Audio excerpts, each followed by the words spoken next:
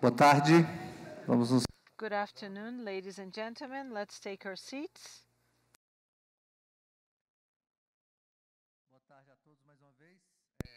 Good afternoon again.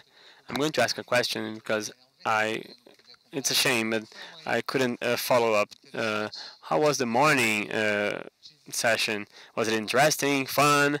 I had uh, several feedback messages saying that it was really great. Some people requesting for the code. There's some kind of uh, exchanges uh, happening. It's important. This is important to see alternative solutions of the colleagues, and then we can ask them to forcefully or not uh, collaborate with us. So we're going to start the panel of the the afternoon of the second day of, of the event with the professional of the Brazilian Electricity Regulatory Agency talking about the risk assessment modeling dams with association of multi-criteria decision analysis and theory of fuzzy uh, sets. So please, Sergio Leite, floor is yours. Aren't you applauding the, the, the speakers? Please, people, let's give him a round of applause. Sergio, the floor is yours.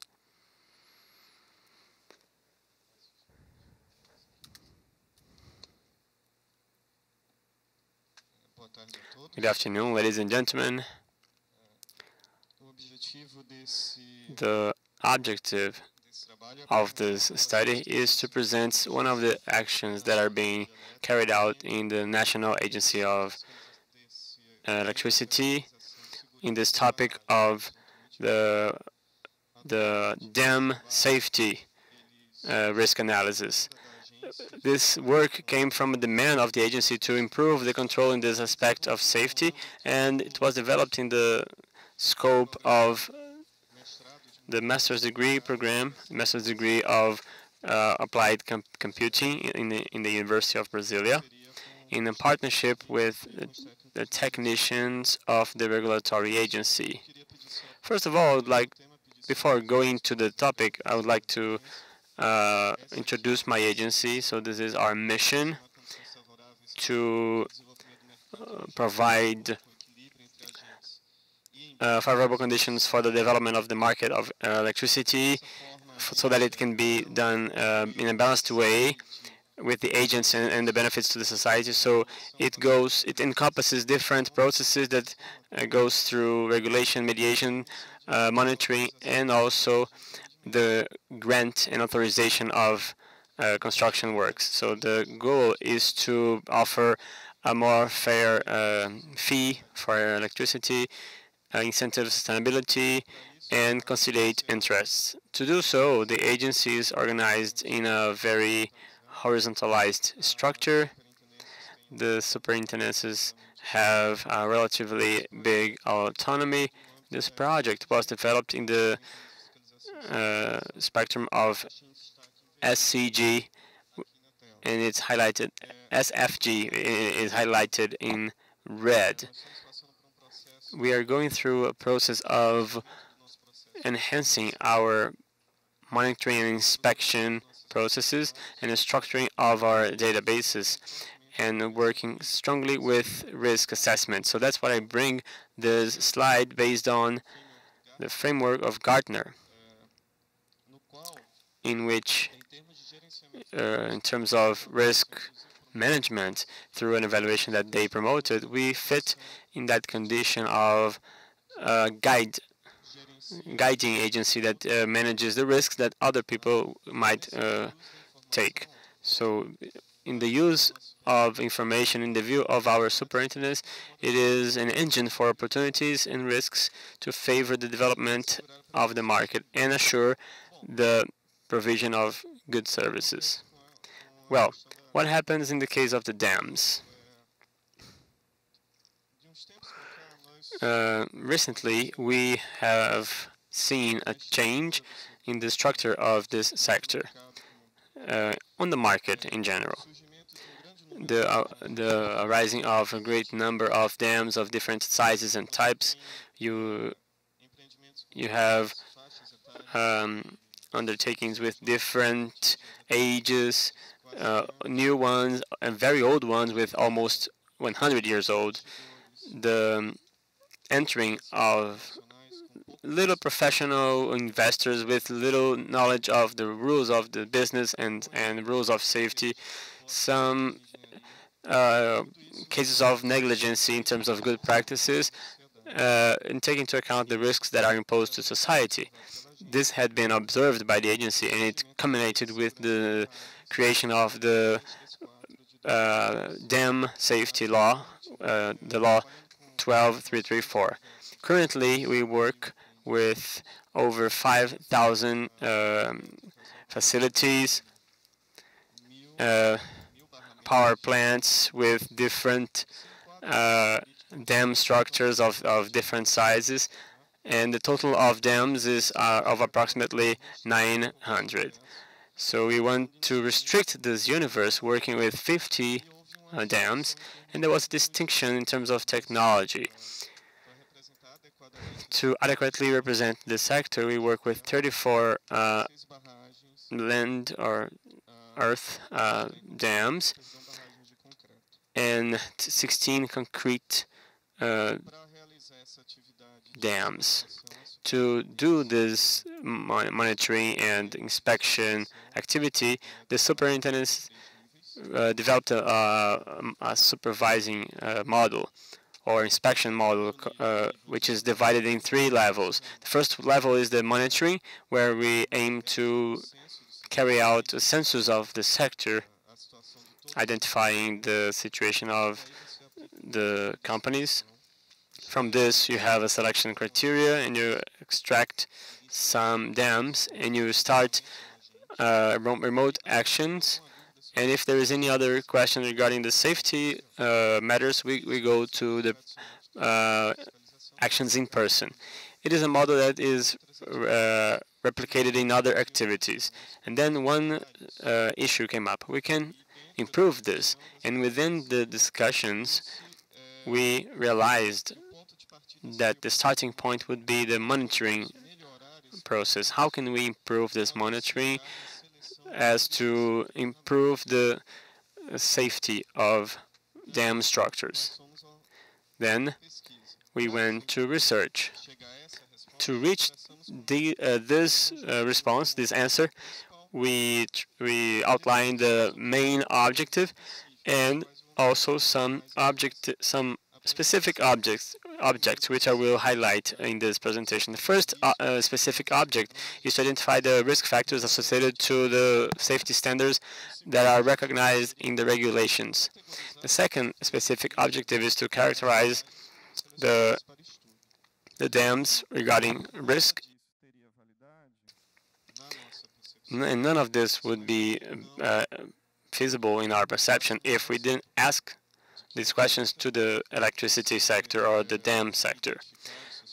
There's no need to identify the factors, to work with what is described in law, but if at some point there is a perception of the market that we cannot capture, then we need this third specific object. The research was quite broad. Uh, just the, third third objective was to validate the risk factors associated to, to the to the uh, dams through interviews. Here we we worked we checked the dam structures from 1970s until the, year 2000 because with the computational advancement these techniques were became stronger and then we could build our model. Basically it follows two lines, as it was explained in the, in the presentations in the morning. We reached the consensus that not only one specific technique will bring the solution, but a set of approaches and methods, methodologies. The law works basically with the punctuation uh, system, with the ranking of concepts. So the best way to translate these concepts that were described in the law was the theory of fuzzy uh, sets. Regarding the comp computational competences, we identified the most adequate for the way the law is structured, the approach with triangular numbers. the other side was, well, I can translate what the entrepreneur is saying based on what is questioned in terms of law. How can I work on this classification and this ordering? The law deals with several topics. The multi-criteria evaluation seemed to be more adequate to us. And then another, a second uh, doubt came. Which approach would we use? The American school, they work in the logic of compensation, or the European uh, school, more specifically the French school that works with relations of indifference and prefer preference. In our case, given the compensatory nature of the American school and the fact that you're working with risks, this compensation could mask uh, a certain uh, bad performance in a certain factor. So we chose the French uh, school. In the family of existing methods, we selected ELECTRE 3. uma pequena descrição do modelo, This is a little description of the model. I think it's okay for everyone to see it. But the idea is basically this. In the top level, we our first idea was to identify the most common anomalies according to the to the specific object one of the work. For each for each anomaly identified, we added some risk factors, and it is all worked in the fuzzy environment. So we- we collected the dams that were evalu- evaluated by the agents. They received the survey. All of this is fuzzified, so you have the results. and After the, the this fuzzification, you have the risk index related to each of the identified anomalies.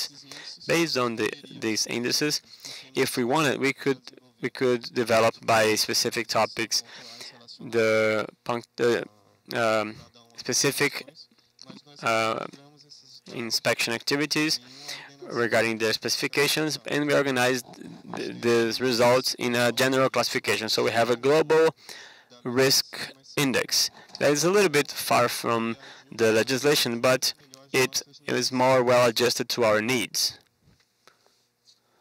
É, então, já caminhando para a parte final da So now going to the end of my presentation, the objectives, they generated three results, three specific results.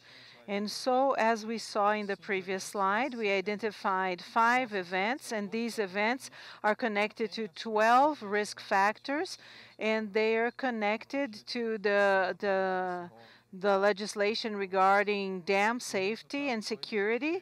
Uh, result two uh, generated the categorization of these dams. And in result number three, é, de universo de 100 among 135, no, among 155 entrepreneurs and in charge uh, for the construction of the security and safety of these dams, we were able to receive the responses from 57 expert engineers. It seems to be a low number, but in terms of representativeness, uh, when it comes to engineering, 57 engineering uh, engineers responding is not uh, to is not negli- negligible. And so regarding this uh, objective 3, it's about uh, 78%.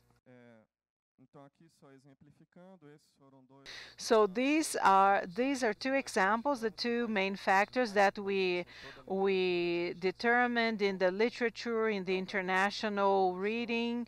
Uh, we have percolation, and it's an over. Uh, uh,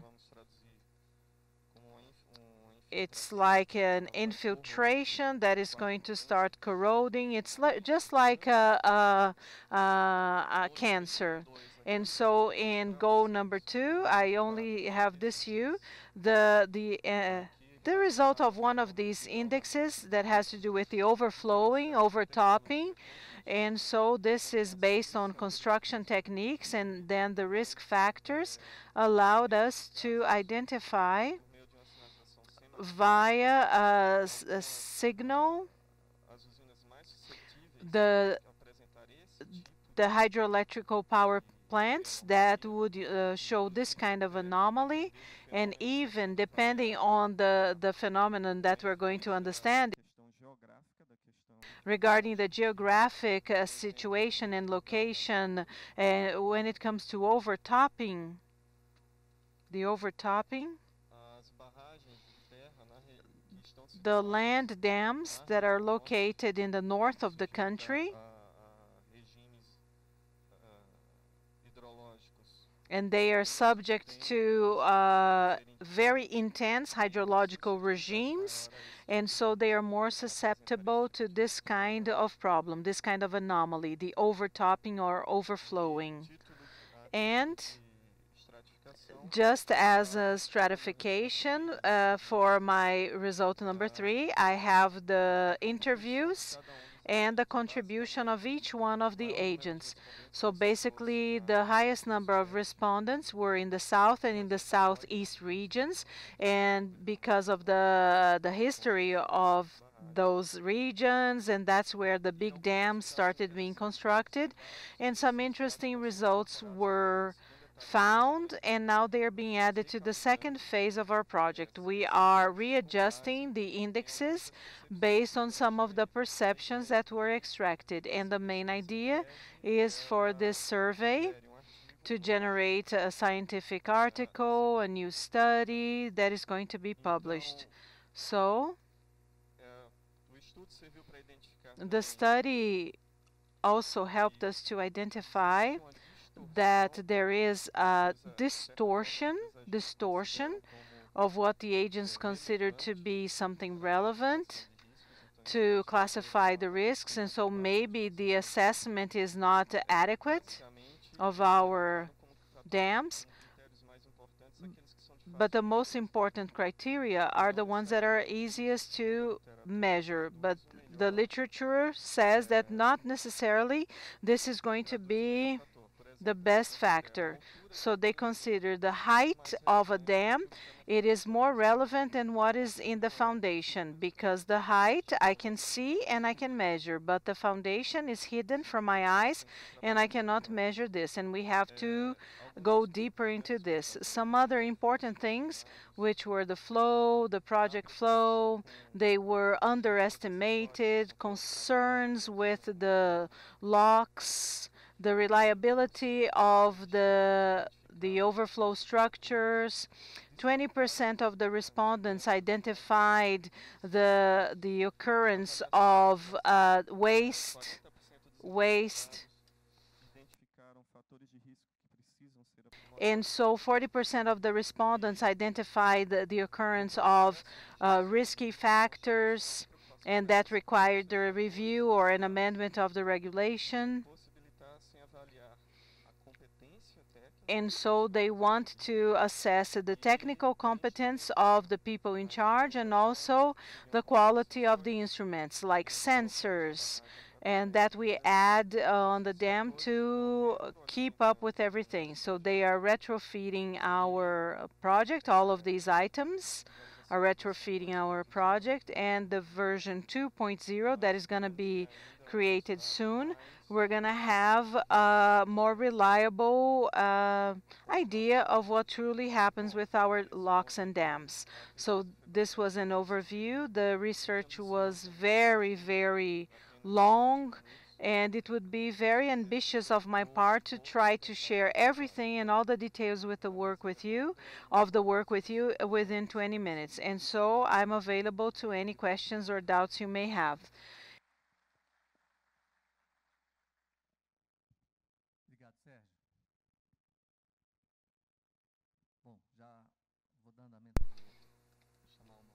So now I'm going to invite our next guest. He's going to talk about so he's going to talk about model of recommendation for financial agents in the uh, Brazilian Development Bank for micro, small, and medium enterprises and their relationship channels. Mr. Fernando Pinhatti. Bom, boa tarde. Well, good afternoon, ladies and gentlemen. My name is Fernando Pinhatti. I coordinate one uh, of the data science teams at the National Development Bank. It's a recent team, but we have some interesting projects. We have had some interesting results, and I wanted to show one of these results with you, okay? And so it's about this uh, recommendation model that we created that was meant to work with our website with uh, SMEs and it's called MPME. But what is the MPME channel? Basically, it's a website and so you can surf on our website and then you open this tab and the small and medium uh, entrepreneur or business person they can surf here trying to get funding from the BNDES, which is the, the Brazilian Development Bank. So why do you need this funding? Why do you need this credit? What are you going to do with it? And then the person can describe this. Oh, I want to purchase a new fleet of trucks so that I can renew my trucks. What is the estimated amount of the funding? And then he's going to fill in uh, the form. Where are you going to invest this? Where are you going to purchase the material? And the main objective is that this channel is going to try among all of the types of credits we have in the development bank, we're going to try to translate this into one of the funding options that we have. Um, making the choice easier, making the funding choice easier to try to meet the demands that this investor has or this entrepreneur. So as you can see on the slide, and so uh, he chose Finame, the one to buy trucks, and the average uh, interest rate is 0.99 a month, and uh, the BNDES can finance up to 80% of the and so he's going to try to understand how this funding works, what are the conditions, and then he's going to say, oh, okay, this is what I want, and so this is what I'm going to do. And this is done in a very logical way, and we don't need a recommendation model. And now, maybe we have a certain issue here. The BNDES does not have bank branches. We work jointly with the financial agents that are the commercial banks and the banks here in Brazil. And so this funding to the micro business person is going to depend on a certain bank accepting that proposal. And then for the funding proposal of the entrepreneur, we show them all the banks that can uh, give him that credit in that region. So the person can choose. He can choose more than one bank, by the way.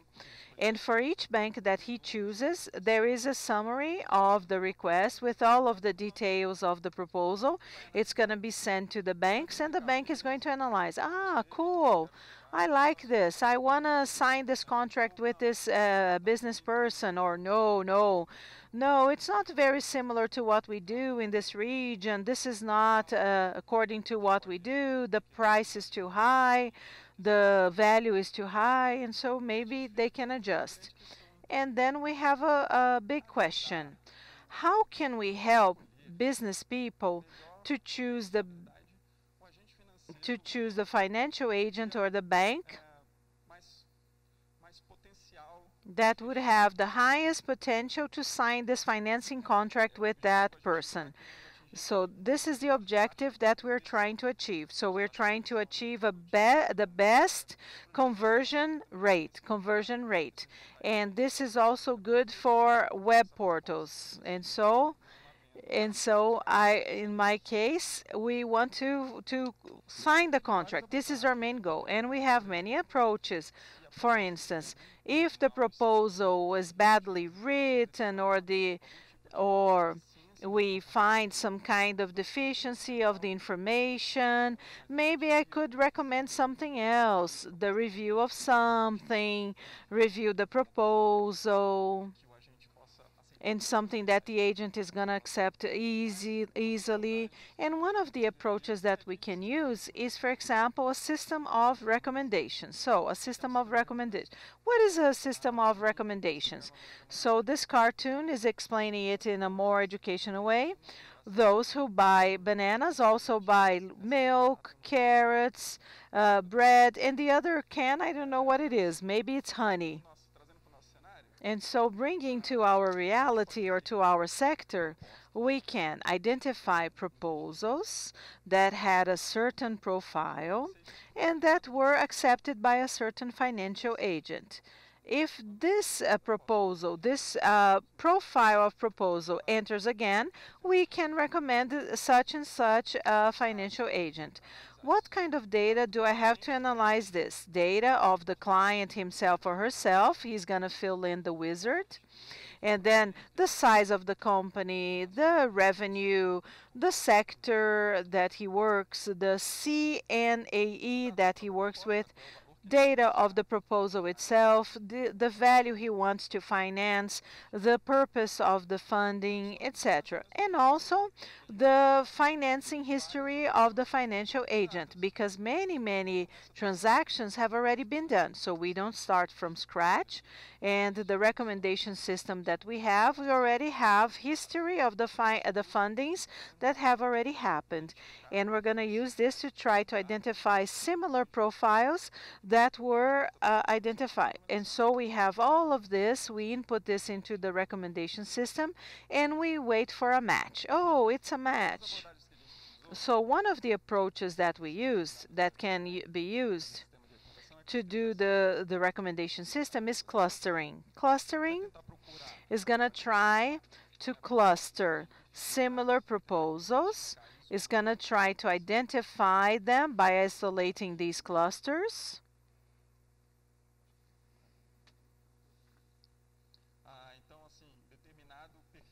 So a certain kind of proposal maybe the clustering algorithm is going to be identified and maybe Caixa Econômica Federal or Itaú likes this kind of proposal. They like to meet these demands. And so Sicredi, Scania, and so on and so forth. And I can identify for other uh, financial agents.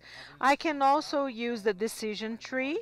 The decision tree is a more logical way. You go from uh, the top down, and then what are the proposals? What are the history of the financing or funding that have already been approved? And then I start creating a logical tree.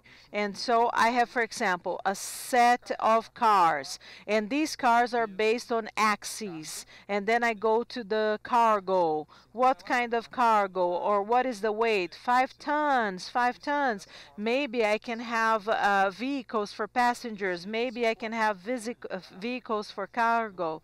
And if I go to the trees, to the leaves of the trees, maybe I'm overfitting my population. So in general, to use the decision tree here, we do some pruning of the tree uh, to in a certain level so that we can have a pertinence probability uh, for that certain cluster. Not all the parameters are going to be explored, and then there is a per uh, percentage of uh, pertinence. It's like a, a pertinence score.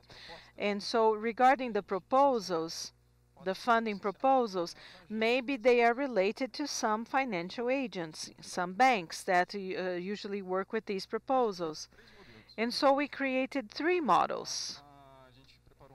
We created um, two models based on this cluster model. The first model used the history of the funding of the financial agents, so it was more absolute the number of financial agents that signed that kind of contract or proposal. The second model uses the same approach, but is trying to do a little bit more of relative uh, conclusions, come to relative conclusions. So the agents that uh, more signed the proposals regarding the type of each one. So they, they have the same the same uh, approach, but the strategy is completely different. In model three, three, we had the decision tree. Model 3 was a decision tree, and it was trying to analyze the types of proposals, if they were similar, what was the conversion rate. So I am on a team, and the other team is in the business department, and my team is more in the IT department. And so we operationalize these models using a free and open source software, and you can call them in R, and you have the Quest protocol. This made our life much, much lives much easier because we have Java, and it was very nice to use it. And then we could create the models. And so how did we verify this? And we started producing this. The idea was to have a, a test, test, A-B test. And the A-B test, nothing more, nothing less, is our recommendation, what are we going to do, what we have decided. In part the uh, population is going to access this new function, and the other part is going to continue accessing our website in the traditional way. It's going to be our control group. It's an experiment, it's a trial, and then we're going to compare the metrics, okay? Regarding the control group and the non-control group. Since we have three models, we put the three models into production plus the control group. We routed it with the CPU with 25% of uh, delivery to the models, so plus 25% of the control group. Then we have uh, 100% as of the population. Now, what metrics did we uh, evaluate? First one was the support met metrics to know how much this functionality was received, its rate. Mostrei uma recomendação, I showed a recommendation here, and I asked myself, is this client understanding this recommendation? Do they agree with it, or are they just ignoring it, uh, this recommendation? So this is one of the metrics that we're going to work on. The other metric which is the the objective. Remember the question asked that was to improve this matching of the financial agent and the component, which is the conver conversion. The conversion could be started what financial agent we chose, and of course we have a new functionality in the website. We want to test the influence of this recommendation in the conversion. So we measured the proposal, the proposals that had the recommendations accepted, and we could get the conversion rate. Here now, look at the results. We have this part, which is the click-through rate. Basically, we have models 1, 2, and 3 here. Number 2 is down there in the bottom. I'm sorry I didn't put the, the axis, but it is, it is a, a chart re- regarding the number of, the total number of recommendations uh, over the accepted recommendations. O modelo 2 Model 2 is a cluster. 1 and 2 are clusters, and 3, the one in the top, is the uh, decision tree model. The two cluster models, they seem to have to be more successful among the SMEs, um, among the small and medium enterprise uh, owners. And they will collect the information generated by the models. We, there are several reasons for this, and we have to go deep in this analysis to understand this behavior. But all models have a good performance to, uh, in relation to the eff- effectiveness of the recommendation. The, re- the effectiveness is being measured by the acceptance of the user. There is another uh, uh, effectiveness, which is the effectiveness of the finance, financial agent. When I recommend a proposal and, and it is accepted, the financial agent receives a more qualified client. I have seen in the history, in his history, that he normally works with this type of client. Of course, there are many nuances in, in this environment, but when the algorithm is right, I detect a behavior pattern of that uh, financial agent. And if the client falls into that, that pattern, that person is a, is a potential lead. When I qualify this lead a little better to the financial agent, and when it is when there's an agreement, they uh, you improve the conversion rate. This chart is showing the conversion itself. This is a probability chart. Models 1 and 2 are, are down in the bottom, and the 3 is up. So we see that the cluster algorithms have lower results in comparison uh, regarding conversion in comparison to the decision tree algorithm, which had a very good result in terms of conversion. We had this graph uh, regarding the conversion rate uh, measured in the model. So the big, the biggest one is the green one, which is it is it is the control group. It's bigger in 10%. And here you see it's bigger in 20% compared to the control. Model 3 shows the probability of having 94% of the times better in 20% at least compared to the control. So it is a very interesting result for us. And eh, here we're going to have 94% of the times better than the control. Uh, the cluster, which is a, an absolute re uh, reference model, uh, see, has not doesn't have a very good result. It is even some, sometimes the, the the dummy or the control was uh, better than it. So it was not really recommended. Was not a good strategy of recommendation. In model 2, which was the relative frequency, it was in the middle of the way. It has a slight inclination to be better than the dummy. That's why we chose model 3.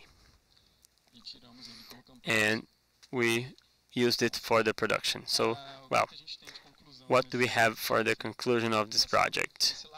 On this on the bridge between the entrepreneur and the financial agent that will provide the the money of this the loan for the entrepreneur, we can have an increase of up to 20% of this matching, this conversion for this small project. We, we make these clients happy, these entrepreneurs happy, because they start believing that it is possible to do 20% more and to obtain the loan from the Brazilian uh, Development Bank. S many times they are beginners in, in their businesses, and it's important to have this type of incentive for them. And also, uh, the financial agent is happy because they are receiving proposals that have a better potential of conversion in their vision as well. So the leads are better qualified. Okay. And with all this, the society as a whole wins. Because if I'm converting 20% more, which represents about 40 million reais uh, paid uh, in, a year, I have all this money for the development of the, that region where this company is um, present, generating more um, businesses, developing more uh, employment and development. It will contribute for the development of the region of, of that uh, uh, company and to the Brazil, which is one of the goals of, of the Brazilian Development Bank. Thank you so much.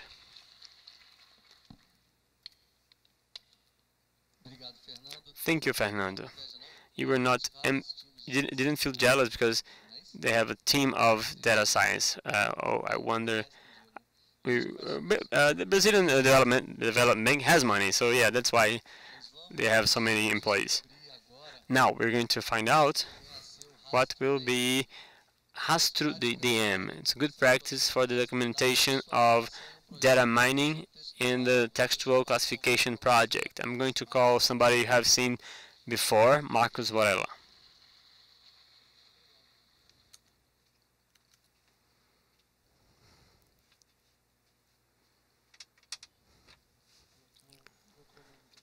I'm, I'm going to turn on my chronometer.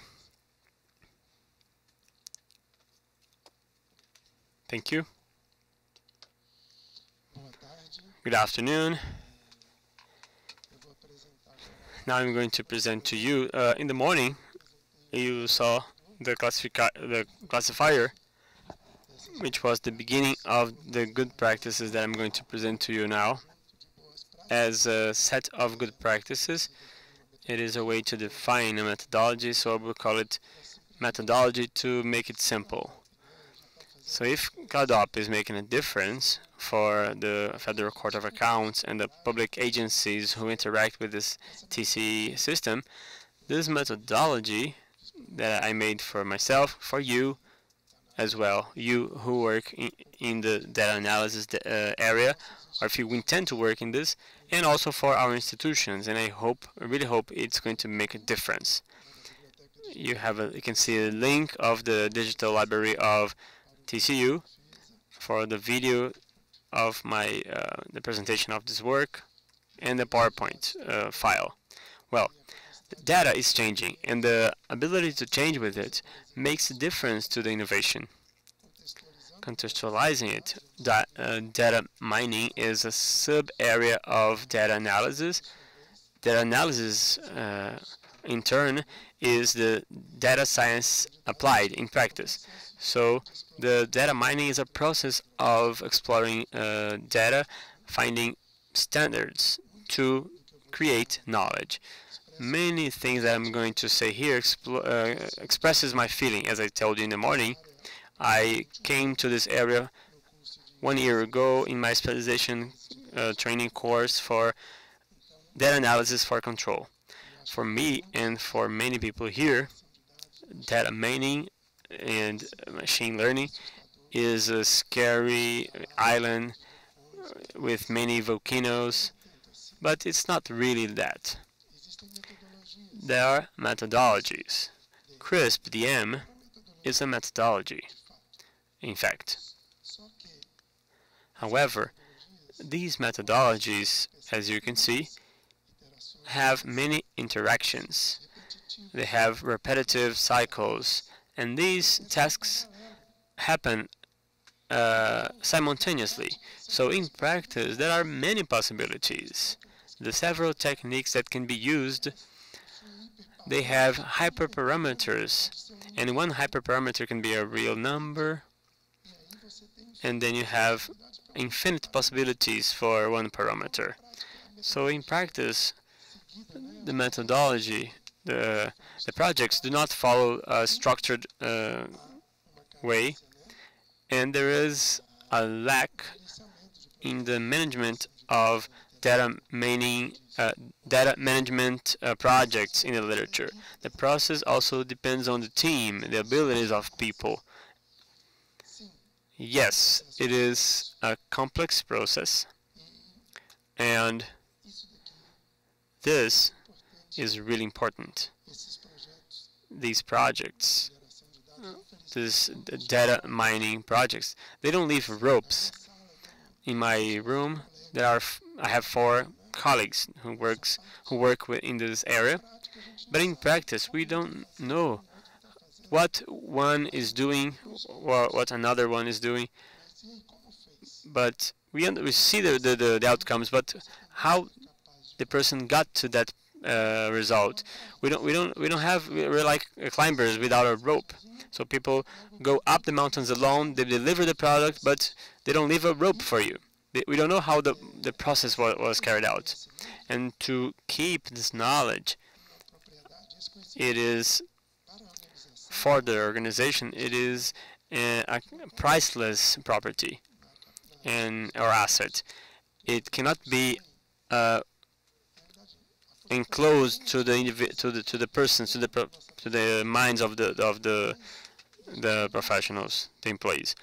And people get retired and they take the, the knowledge with them. So, and this knowledge is, is priceless. And the point is, how can we register this? And this is what my work is going to show you. Now I'm going to go through quickly to the motivation, something that I personally went through, and I hope that you all, you all went through this same thing. So any any uh, similarity is just a coincidence. So it is a hypothetical uh, example. You you are in a forest and you want to find a, a rock, a stone that that adjusts to the data. So you go, you start your mission. The path is challenging. It seems to be untranspassable with scary pathways. And as you go on, new techniques come and you, you feel you're lost. The fears, they, they are weight on your back. But the pathways are uh, beaten. You, you mark those pathways so make sure you've been there. And many of them become promising. And hope overcomes despair and fear. Some routes require new skills, and others cannot be uh, walked on. But yes, we find the models that we need. We register them. We measure and adjust the models with the data that are tested. We have all the numbers and metrics. We learn our look at this uh, neural network. We learn about the path that we are, we are going to and about the models. For example, a good practice in a hypothetical way is to, to wash the, the, the stone before doing the measurings. Sometimes using the, the correct tool is a way for the solution. Yes, there are traps in this path in the forest, but there is a limit for falling in these traps because thank goodness we learn. And well we uh, you know boogeyman is something from the childhood. We overcome our, our fears and we do our best. Yes we have a pathway where we where we went through. We have the map we found a perfect model which is like a precious stone we also have the documentation of this stone we have the accuracy, the F1, the precision, everything. But just to reflect on it, in new missions, in new projects, what what is this document of the product worth? Where is the where are the notes taken in, during the pathways and experiences and, and the learning that you that you acquired? Where is the where is the trace of the process? Okay, now I'm going to present to you the proposal, which was my um, the thesis that I defended in my in the in the end of my specialization course. Well, we need to good practice for the documentation of the, the path that we walked on, and the documentation is of the process, not the product, which is normally our traditional focus. It is exactly what this author says. It's, it is what is behind the artifacts, the values, the experiences, the reasons, the talks. And it, it encompasses three activities.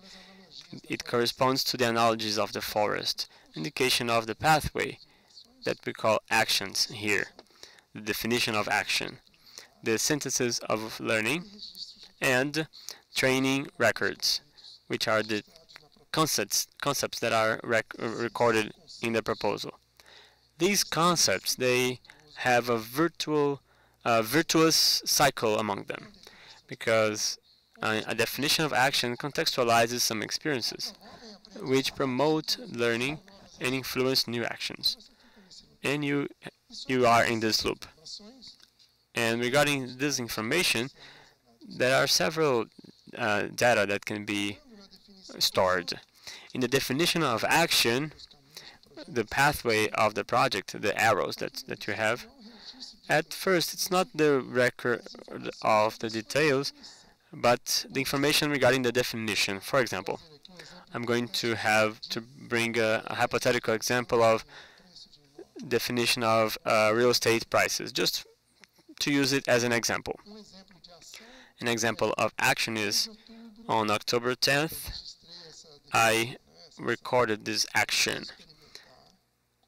We need to experience as characteristics of the real estate in the model the number of floors and the number of bathrooms. So I need to register that, to, to take a note of this. As time passes, this can happen, unfortunately. We may execute re re repeated actions if we don't have this control. The training courses, which is the second documented concept, it is the experimentation itself, the application of the mathematical algorithm or algorithms to the data so that we can extract the, the, the patterns. This gentleman is the creator of the Python library and he comments this uh, virtual cycle that I mentioned. I'm going to read the last sentence. The more interactions uh, in this repetitive cycle you can execute, more refined and powerful your ideas will become, and as a consequence, your models as well. Here is an example of a training. There is a certain date. It says here that uh, it, it mentions the variables that I used to find the price, the algorithms, the goal that I reached, the separation of, of testing data, and of course the re registration. could be in a spreadsheet. It's good to have this code. It's indispensable that this activity is automatic, uh, connected to your platform. And lastly, the learning, which are all the, the teachings and learnings that we acquire in, in our practice and so they treat sometimes knowledge and experience as the same thing. So the description of an event in a project is a very important experience item. And here we have examples. So in this hypothetical case, so we have, it is necessary for you to update the values of the real estate uh, properties in the same currency. So because Brazil has changed currencies many times. Others, for example, to add variables, the numbers of bedrooms, the numbers of parking spaces in the garage, so that you can improve your accuracy by 10%. Notice that some uh, learnings, they can be automatic. And this author says this, that there is a great uh, uh, gap of research in this area, in this field of knowledge. And so, the summary of learnings and its effective use promotes the maturing of the team and also of the agency. And it stops this kind of knowledge from getting lost, okay? And so some guidelines here for us for this methodology, for this proposal, this set of best practices, uh, being fast don't allow this documentation to happen at the end. It must be during the process, yeah? You have to do things at the right time and as soon as you do something. This proposal is adjusted, it can be adjusted. The professor from Goiânia used KDD, others use others. So you have to adapt and adjust and you need to complement things. It must be flexible because in practical terms, the quality of the documents is going to depend a lot on the team. The team respond for the veracity and truthfulness of the data. And at the beginning, maybe some work can have different criteria and maybe uh, being able to replicate it must be important and so I have to store the libraries I have to store the numbers random numbers and so the methodology must be flexible. And it uh, must be used and possible to be used. Okay so in Cladopi all of my records, they were commands that I had for my laptop. Register the knowledge, register the information. And so I had a grid search and internally it already stored all of the trainings. And so illustration of the use, which is the CladDOP. I'm going to consider that you already know everything about CladDOP because my presentation this morning was all about CladDOP and you can watch this on YouTube. And I'm going to show the use of the trace in CladDOP. And so here we have a summary of the learnings in my project. As you can see, some of them are automatically detectable, others are not. Unfortunately, after a few months. I got a sample of knowledge here and I started verifying what is the percentage of the things that I still remember. And it surprised me that I would uh, I would even mention some things superficially, but in depth I only knew 27%. And so you have the infinite uh, uh, automatic hand. If you saw the the Avengers uh, movie, you remember this this artificial hand. And so the kit, the trace kit DM, and was 100%. And you had the hand of the future. Some of the definitions of the actions, uh, these are examples. And if in the literature we have uh, uh, repetitive work, 29 de maio, so on the 29th of May, I ignored uh, a learning that I had that the micrometrics they were uh, the same, they were fluid, and so my presentation was coming closer and closer, and I programmed something again that I had already programmed. So it's useless uh, to, to only have the trace and not use it. You must use it. And so here uh, are the records of the trainings in all of the experiments. In blue, we have the parameters. In yellow, we have the metrics and the textual data. And all of these, when it comes to CloudDOPI, they are stored in the same table.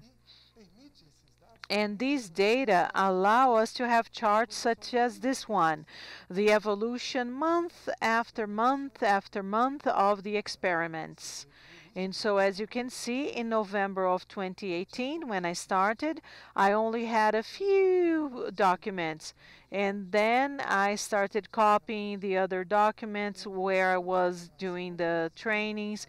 And then you have the accuracy scale. So the greener it is, the more accurate is it is. And then you have all the techniques, all everything that I use. I have the results of the variables, the variables of context, of all of the the damages, and I also tested the quality of the OCR. So each training, and so this box plot has a set of trainings. And so we have several parameters here, and the best one was uh, in LPM. So it's important to have, and so this table here, né, as versões do Cladol. So we have the versions of the CloudDOP. The first one that was created on the first 21st of January, the last one on the 1st of July, and you can see the codes here. You can see the codes that were added to the training table. And so the last version that I created had 91 point, uh, percent, 91.1% of accuracy. And so in the generation of the build, I didn't separate data for tests. Of course not. And this, uh, the information that is in the training table is very useful because I have a monitoring routine and it's already there in GitLab, uh, gitlab.com, and it, it is made available to all of you. It's public. And so once you have the information and the par uh, parameters that you use, I can use it again, I can test it again. And so we have some metadata and we created an extra table and I can do this and send automatic emails and say, hey, what is the, the quality here? What is the minimum percentage? And so from the metadata, other benefits that we have is, is so if you foresee a report, how can you transform numbers into text or text into numbers? I apologize.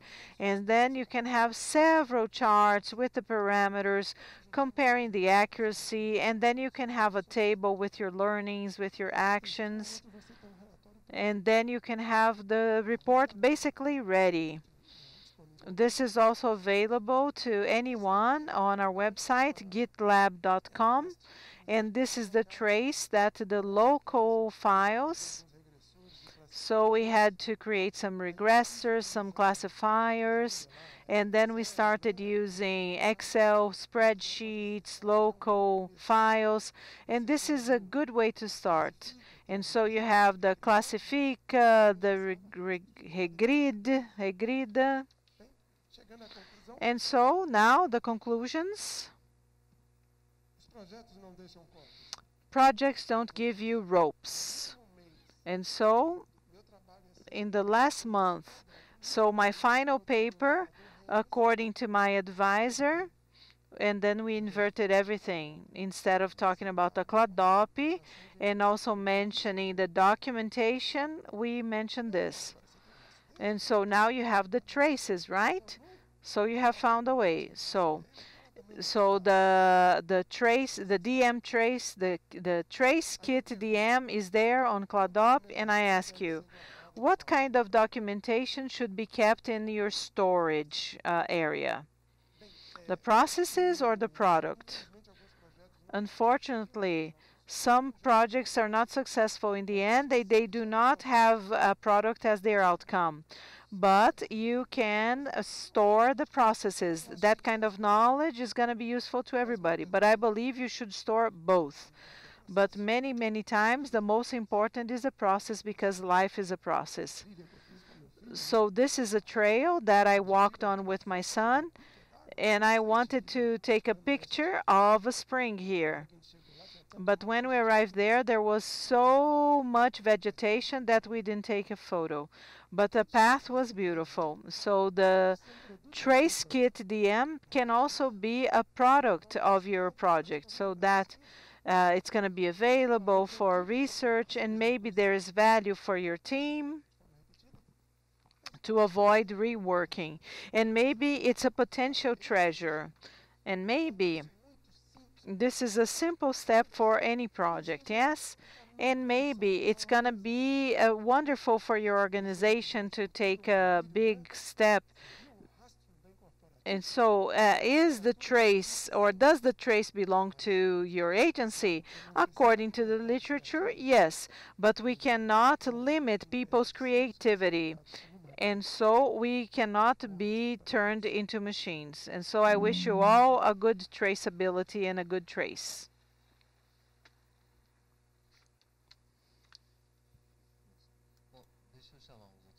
So I'm going to invite the other panelists. We have 10 minutes for Q&As now. Sergio and Fernando, please join me here on the stage. So Borella still imagines that we are going to have uh, the possibility of retiring. Oh, you're so optimistic. I uh, okay, and you bring me hope.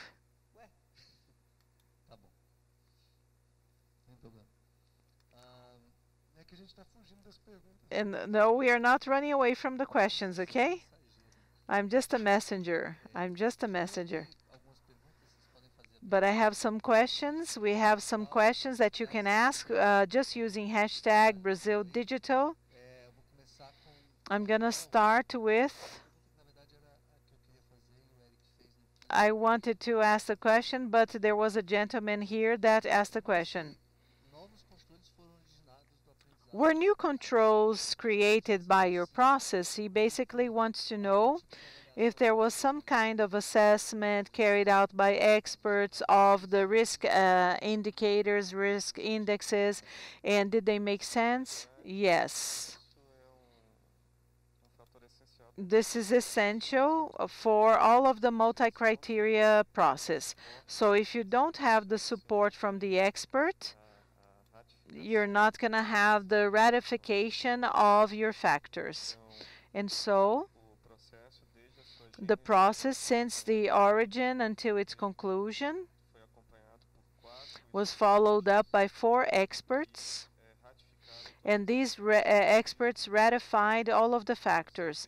And as it was mentioned before they ratify everything with the agents based on the questionnaire that we offered to the engineers. And we had about 50 55 respondents. And so, could this encourage new regulations and amendments to the law? Well, this is ongoing, okay? So, not the law, not the law. The law is going to be amended, or can only be amended by the legislative branch, but we're amending it now, revising it now, and these perceptions, they must be incorporated. So the question is the effectiveness of the results. Testing a model, testing a model, and then it, it is becoming a decision-making tool within ANEEL. Yes, and during the development of the model, I forgot to explain this. It was applied on top of the monitoring and surveillance campaigns, the previous ones, and we were able to validate this with a real experience.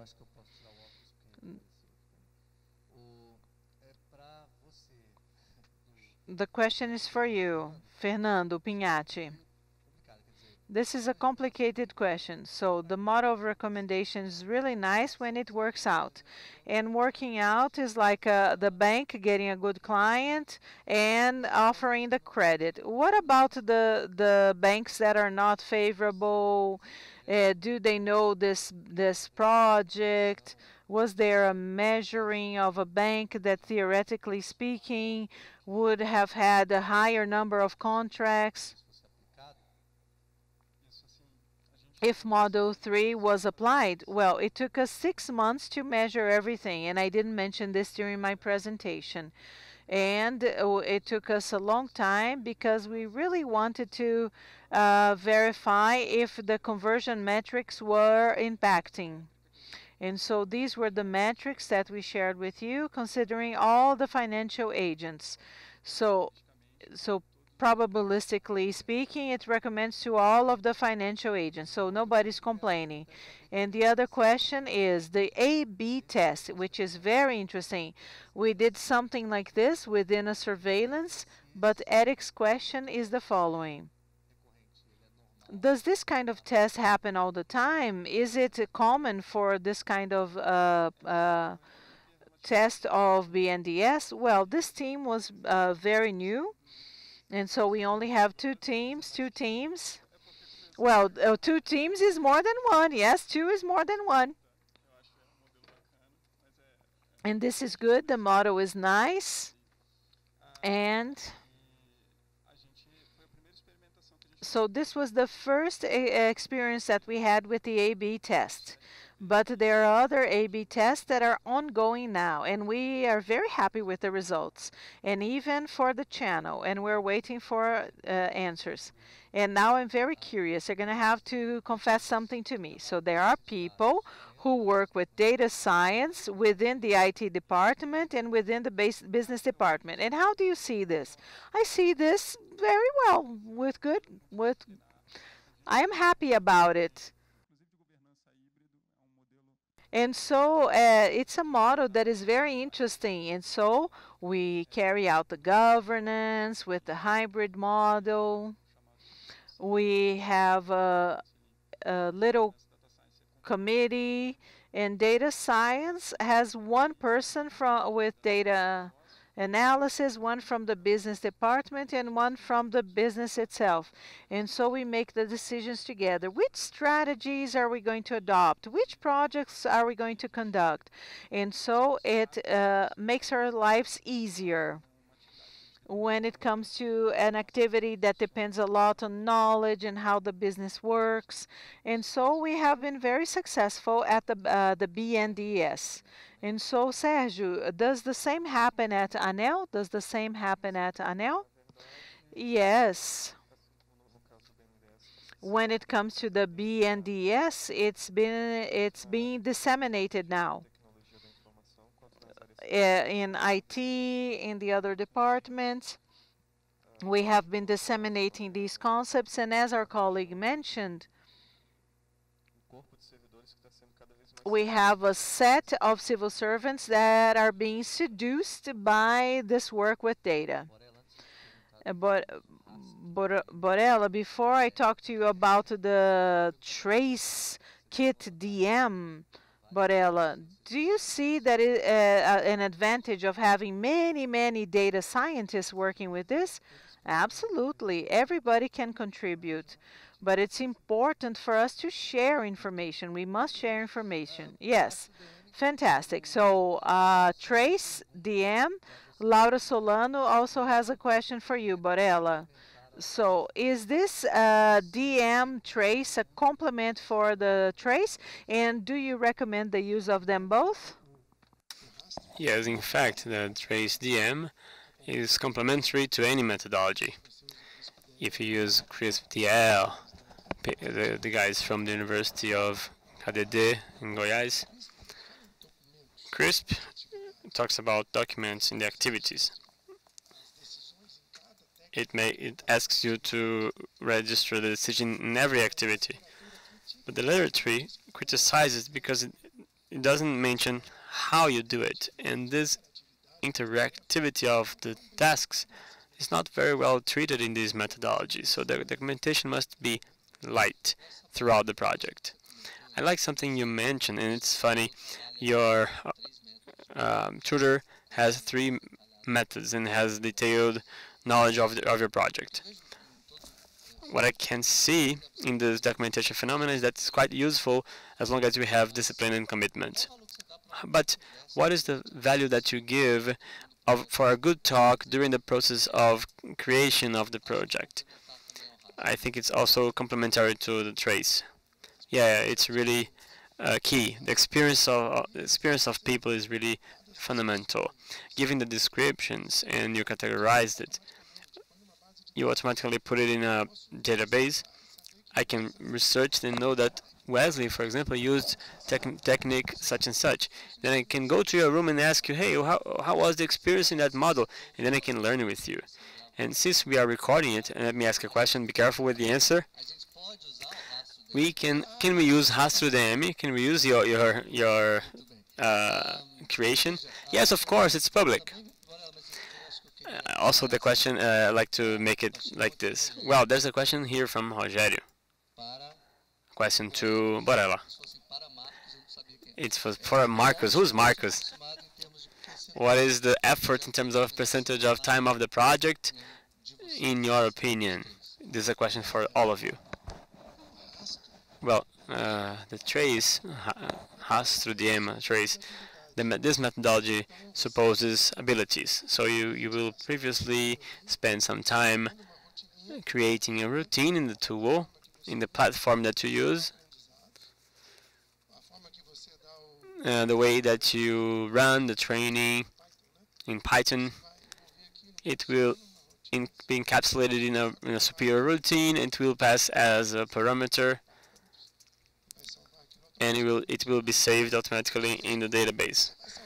You will save it and you will need a previous effort, maybe one day before, depending on how you want the trace, to be able to define this framework for documentation. And documentation later is automatic. You run the training, you save the techniques, the parameters that you used, and it's up to you to re record the learning, which are not automatic.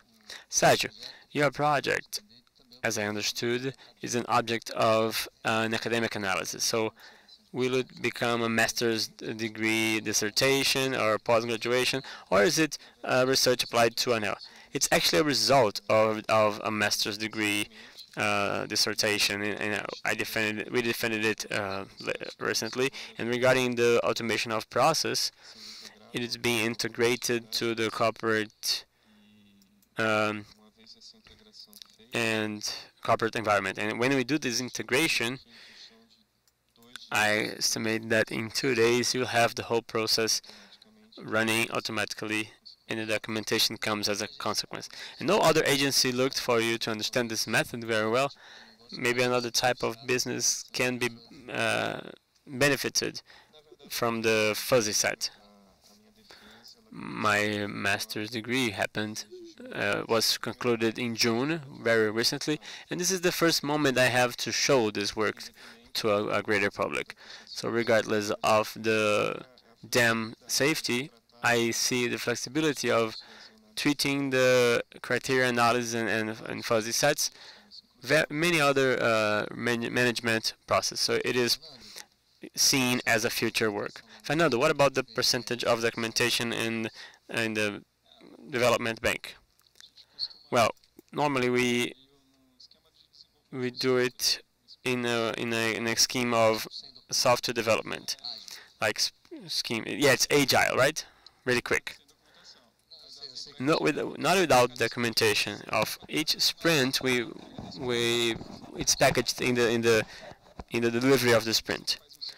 We have a complete cycle in each sprint, so it is in the directory. The percentage it depends on what you consider uh, the documentation, not only the the paperwork, but the rules, the exploration of data. It would be the product of data science or research product. It's going to be mixed. I maybe 20% in the total. Since since we talked about being agile, just to get to know a little more the the bank, uh, the this um, methodology is very, very well used there. Yes, there was a growth for people who have worked a lot with a lot of dedication and uh, the, the team with traditional software development and we also work with data science. Even for audit planning, as Ricardo mentioned yesterday afternoon, we are using this, this, this method. Yes, everyone is using it. Well, we are exactly in the moment of the, of coffee break. Is there any coffee for people there? So I'm going to ask the last question. It's a question from Laura. You're asking many questions. You're going to get a present for that. So regarding the projects, we you use uh, gitlab.com. My uh, my co course conclusion uh, work is there in the in the library. So you just ha you search Rastro Borella. And people didn't ask about your grades in your in your dissertation uh, presentation. What was your grade of this course conclusion? But okay, let's not talk about that. Well, no more questions uh, left. Let's like to thank uh, Sergio Fernando and Marco. Sorry about the jokes, and thank you so much. Let's go to the break now. Pessoal, então vamos, re vamos recomeçar. Good afternoon, ladies and gentlemen. So let's honor those people here who already have uh, secret vacancies in the workshops. No, this is not going to happen. So if you were able to register to take the workshops, you're not going to receive any confirmation of this, okay? And so if you registered yourself, you already know that you're going to be there. And so your uh, registration is only valid up to uh, 15 minutes before the workshop. And so 10 minutes before the workshop, if people have not uh, have not uh, registered or appeared, they're going to open up the waiting list. And so those who are registered here, you have to come in advance. And if you are not registered, and so you can come a little earlier and try out to uh, to take part, okay? Now let's start our last panel of the seminar. And I'm going to pass the floor to our mod moderator now.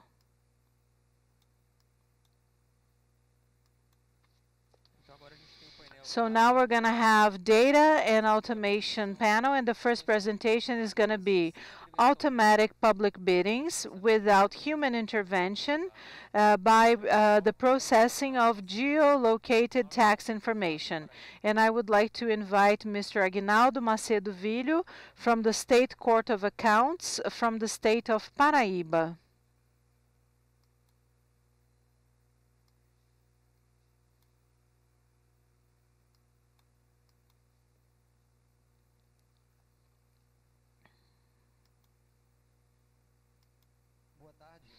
Good afternoon, ladies and gentlemen. I'm happy to know that this is an international seminar and there is a simultaneous translation. And so I'm going to speak with my accent from my state. And I believe you're going to be able to understand me. Yes? So before I start, I would like to highlight what surprised me a lot from yesterday what happened yesterday. It was the courage with which the people who are here, they are dealing with disruption. So in fact, we are coming to the conclusion that we are facing bureaucratic problems and bringing solutions from outside the public administration that, eh, that work really well with us, even if we are making several people unhappy and knowing all of the normative work that we're going to have to submit ourselves to. So yesterday we had two examples. And so, uh, ah, we had the app of taxis. So taxis to reduce the cost, to have more control and many suppliers they became upset because of this and so uh, we want to suggest and changes in this format how we can uh, understand and I was I was complimenting Gustavo about this because of the courage he had in this project. Imagine how many people are going to be impacted by this and everything that he's going to have to face. But if we're not brave enough, the project is not going to move forward. And so just because everybody who's here already has this courage and they have started their projects, I have already seen a very big advance. So I would like to congratulate all of you. I'm going to go a little faster because I have a little time.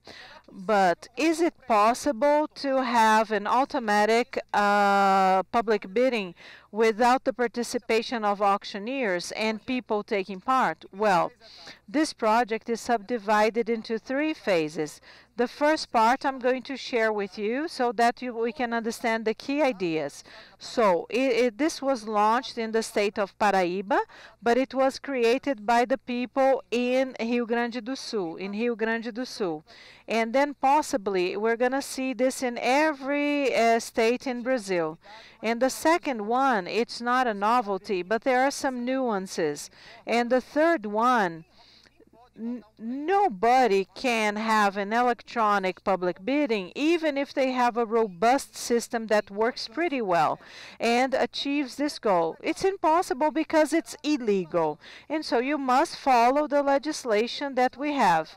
And it is a federal legislation, so it's difficult to change. And this week, it was a coincidence. Well, actually, in the last few weeks, there is a new public bidding law and it's moving forward. And so, uh, regarding advances, there is nothing.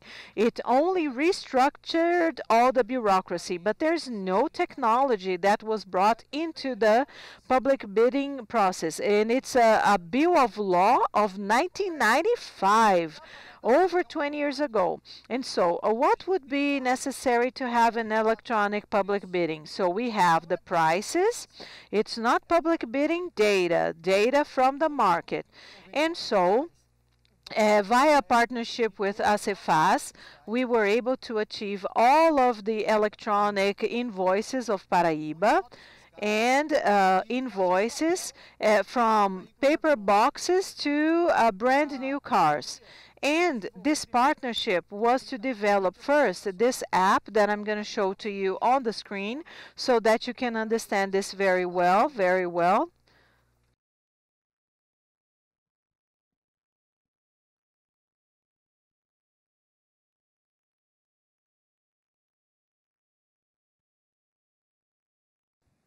Aqui. Se eu digitar If I type uh, any word, Aini.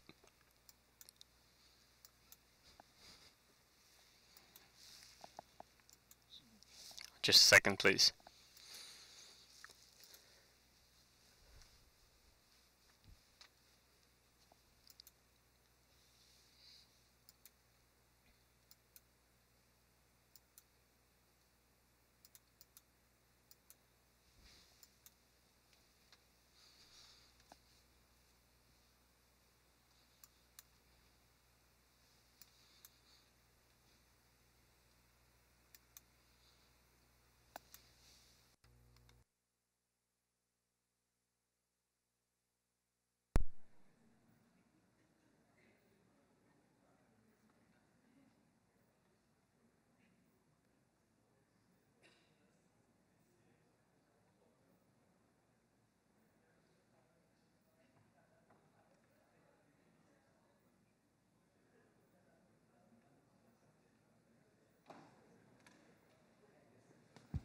Ok.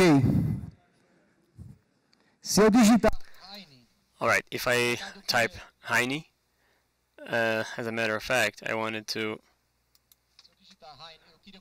I, I wanted to um, consult the mayonnaise, but I, I only got beers. This is a consultation of uh, invoices, uh, the database of invoices of the most popular uh, items with this keyword. If I check the, the first one, it will provide the cheapest uh, beer sold in the past 72 hours. If I if I ask for the most recent, it will bring me something like seven minutes ago. So it's almost real time. All the products that were sold in, in the state of Paraíba. So it's six billion records per year available in this app. And I also can make a list, for example, for barbecue. I write four items and I run it, and then it brings five most, uh, five cheapest restaurants in the city, uh, five cheapest uh, supermarkets in the city. So this was just for you to understand where the data come from. This app is already available. And now I will talk about second one, which is not for the citizens. It's for the procurement sectors of all the city halls of the state of Paraíba and also the government of, of the state of Paraíba. In October uh, 15, we're going to launch a panel where they will generate reference prices to include in the bidding processes. O- on this basis, with market prices, it's not bidding prices. So I'm going to get this example of uh, va- uh, coffee in vacuum, vacuum package, It's, uh, 250 grams. There you go. I got two examples of uh, bidding processes executed in the countryside of the state of Paraíba. The same specification, uh, roasted coffee, packed in, in the vacuum, 250 grams. So we have two city halls here.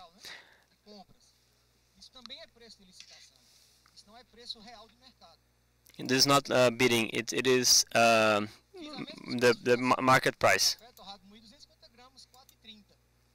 Então, eu tenho aqui So I have here the coffee, 50, uh, uh, fi- 550 for 70 for 30, and then I run the the app, and then I get 350, and it's the same specification. 3,70, 350, 370. So I, it was raised from 350 in average and on the market to 450 in the public administration. And this price price is the price for the units, the and the price for the uh, public agencies is uh, the scale prices. Another example, this one is permanent. We have air conditioning, so we have 9,000 BTUs with a remote control. And so for the public administration, so it's 1,475 reais and 48 cents in average. In the on the app, 1,033. So any person that you ask, so why do we have this? It's gonna give you the right answer. Ah, the law is extremely bureaucratic. The supplier is afraid of not being paid. It takes a long time for being paid, and they need to have a lot of cash flow, a high cash flow, and so they increase the price. And so they increase the price. And so there is a, a budget that is requested or an estimate. They use the the the bidding price and we are working on the bidding price and it's a snowball. So what we propose is let's start working with the real prices. A lei fala isso aqui. A lei de 26 anos And so the law was created 26 years ago. And so the public bidding has to base on the prices that are being used within the public administration. Why? Okay, this is a norm. I don't even know if it's still in effect. And so afterwards, you're going to assess the the prices on the panel of prices and you're also going to base yourself on similar biddings. So the focus is entirely on type of public prices, bidding prices. Why? So if they have this extra fat or this extra amount just because they are afraid of not being paid, but the law also says that the government has to base its prices uh, on the prices that are uh, practiced in the national market. And so, if there is a price aligned with the market, then you can buy it. So, what is my my main objective here? This is the panel, how it works, how the the bidding committee works, and then they're going to choose 10, 15 products, and then they're going to have the public bidding. And so it's going to create uh, barcodes for all of the products. And so this is where we have all the work. All the work. I have already talked to the people from Rio Grande do Sul, a state in the sou- south in Brazil, to improve this. So we can make things easier. And then they can choose four products. And among these products, we can have a reasonable list of barcodes. And so products that are uh, in the market Então, uh, they have this in the places, and so we are going to have the reference price. We have one million statistics behind this. We have economics professors with us, and the certificate. Finally, the certificate. The certificate must be printed and included in the bidding process. So, if an auditor questions everything, and then you're going to see if that's true or not. So this is the last screen of the system. This is a real case. I got coffee and sugar. So ground coffee, 250 grams, and so an individual is going to pay 359, uh, a company is going to pay 299, and the public sector is going to pay 533. This is not right. This is not right. And we cannot blame the bureaucracy, we cannot blame the law because the supplier is going to be afraid of not being paid and the, the, the payments are going to be delayed. We have to fight against this. And so for all of the items that we are mentioning, we are not considering services, only products, because services uh, generate invoices in each municipality, municipality, and it's humanly impossible for you to consider all of the invoices and store them.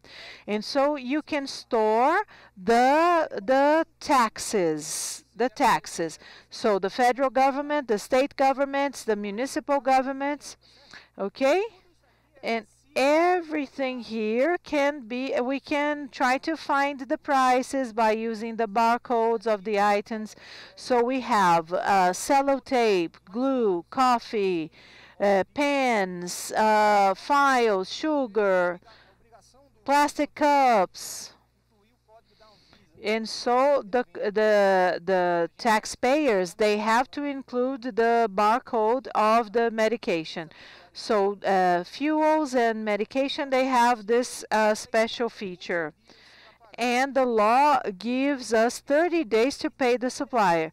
Because in 1993 we didn't have an internet most.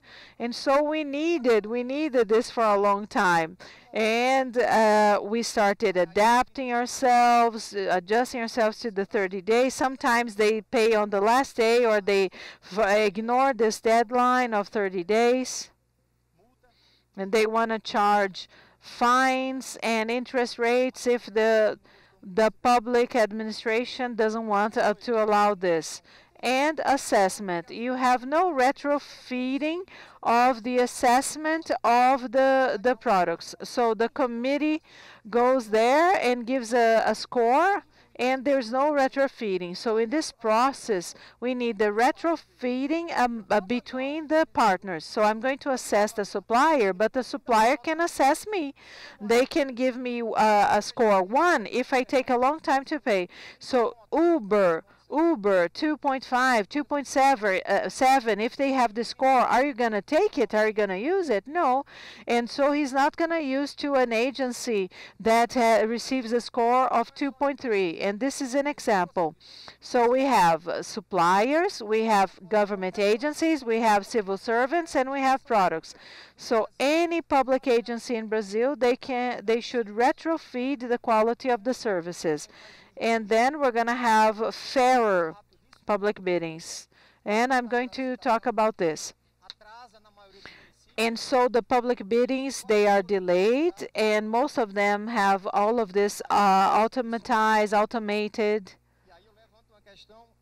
And I ask a question. Law number 13303 only asks half of these qualifications to sell to the government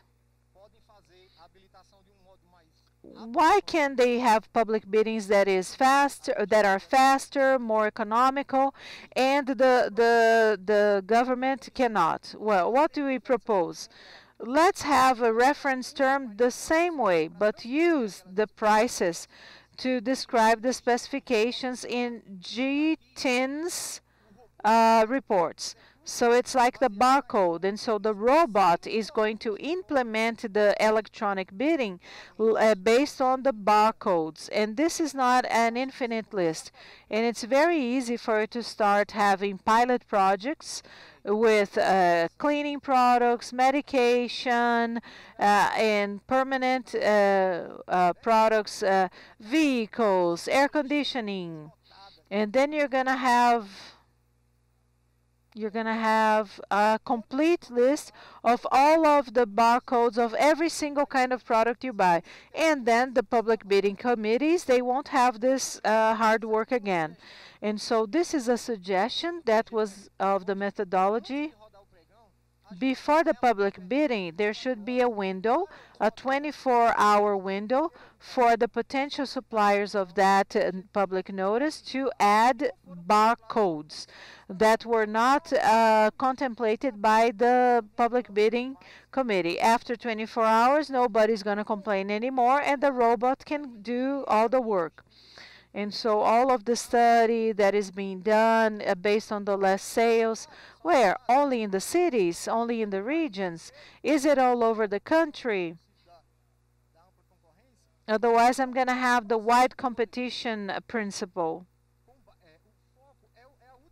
The main, this is the last phase, but it has to be super well structured before this so the winners and those who are interested, they are going to receive a communication on their apps. And they're going to have 24 hours to accept. And then we're going to have a list of those who accepted, and so on and so forth. And so the uh, enablement process is going to be automatic and we're going to have a retrofeeding. What was the quality of the supplier? What was the quality of the product? And also the quality of the agencies that are signing the, the procurement contracts. And to conclude, I just want to say in 2019, between the 15th of October and the end, we're going to have a three-month simulation of all of the public biddings of all of the city halls in the state of Paraíba that are going to sell products and that we can classify. And I'm going to do the to from.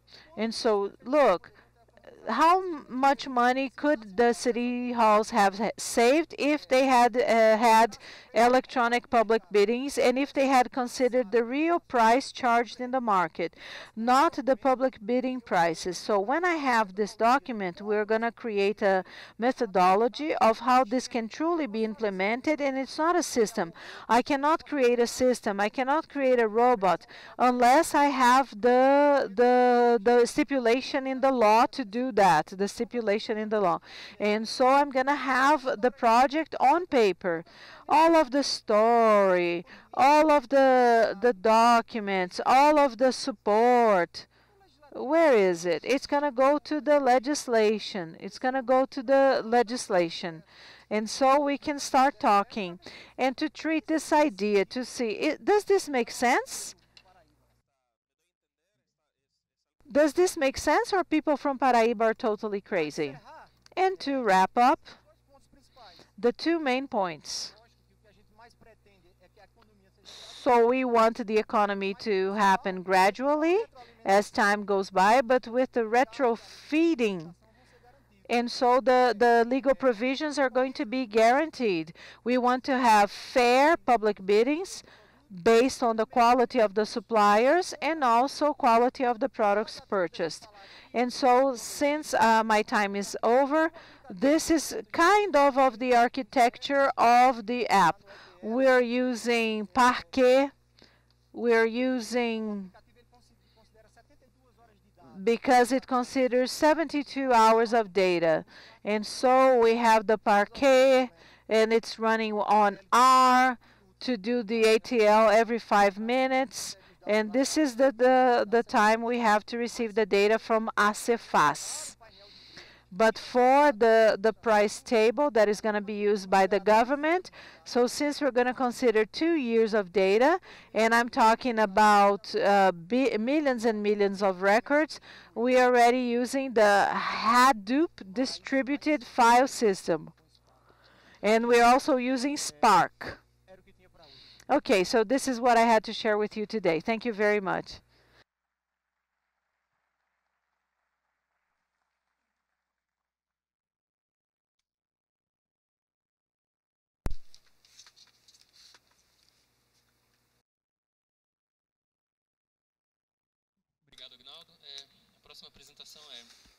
Thank you, Aguinaldo. Next pre presentation is the record linking and linkage for databases and uh, post-market registration for biological medication. Monica Carvalho Soares from Anvisa.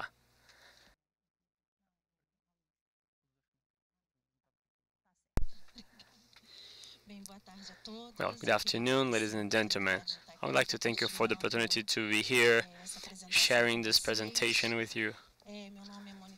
My name is Monica Soares, and I would like to use this these uh, 20 minutes to share with you the potentials of the databases of the National Agency of uh, Sanitary Surveillance.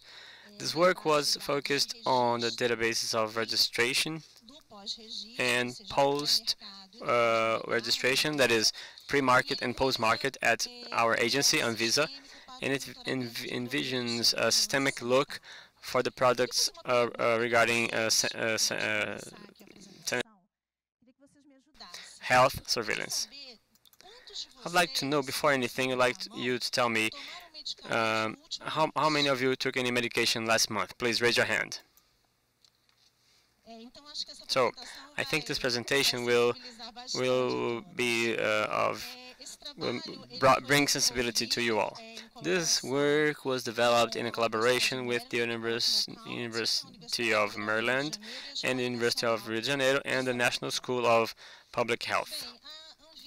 Well, our agency, Anvisa, has the scope, a very a broad scope of regulation. It relates directly with health of Brazilian population. So all this information of all these products, they are information that are sub subjected to the evaluation of the technical body of Anvisa, and they are kept in our databases to promote the uh, managerial re reports, also information regarding analysis um, deadlines. There's a big demand from us in, regarding the, this um, that these deadlines, and we use also it to manage our regulation actions in the pre and post market. Well, and what is the pre-market and post-market?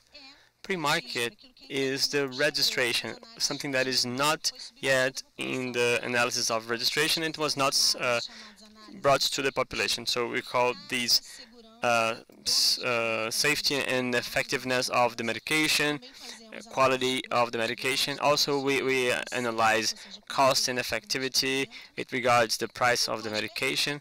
In the post-market, the product goes through actions such as inspection, so we can monitor the quality of the medication, and also it goes through the monitoring of the notifications of uh, side effects or collateral effects that medication might bring to people.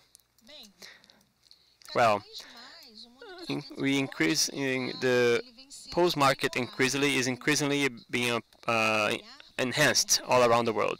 The look to the post-market has been a reality in the US, in Europe, in Japan, in Canada. And they are using this data to generate information, to increase the regulatory evidence, and to bring subsides to the decision uh, making in the regulatory aspect. We are going from a model that is regulated to a data-centered model. Just for you to have an idea, the FDA in the United States is started in 1906.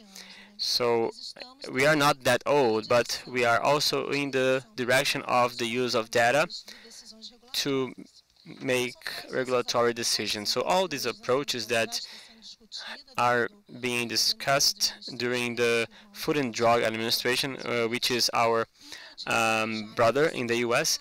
And we also use big data and uh, data mining. This is a, an international discussion, and Brazil is, in, is included in this discussion.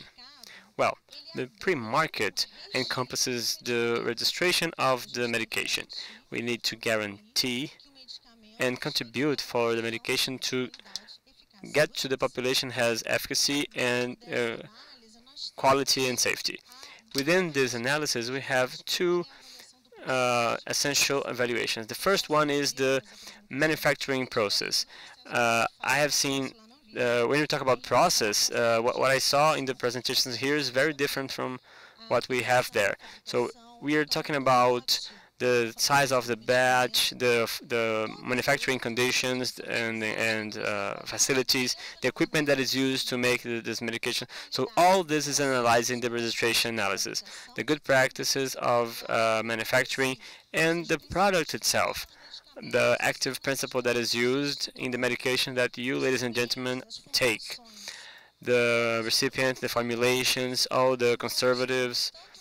Uh, all the preservatives and the product. Anvisa will say, will balance the entrance and approve or not the entrance of the product in the market. Once it is approved, we want to take the population out of that situation of morbidity, of illness, and aggregate health to the Brazilian citizens to we want to add health, life quality, and well-being to, to the population. Once the med medication is approved, it is in the post-market, so it uh, uh, starts a new type of uh, evaluation and inspection, which is the uh, regarding the um, side effects. And why do we monitor the medication in the post-market? Because we need to guarantee that it is always this way, uh, medication that will add health and not the opposite, not in the other direction. Uh, that is medication causing uh, side effects and cause other types of morbidity. In our regulatory market, in our actions in the market, we can identify how the population, Brazilian population, has been receiving our regulatory actions. But medication is not is not something stuck.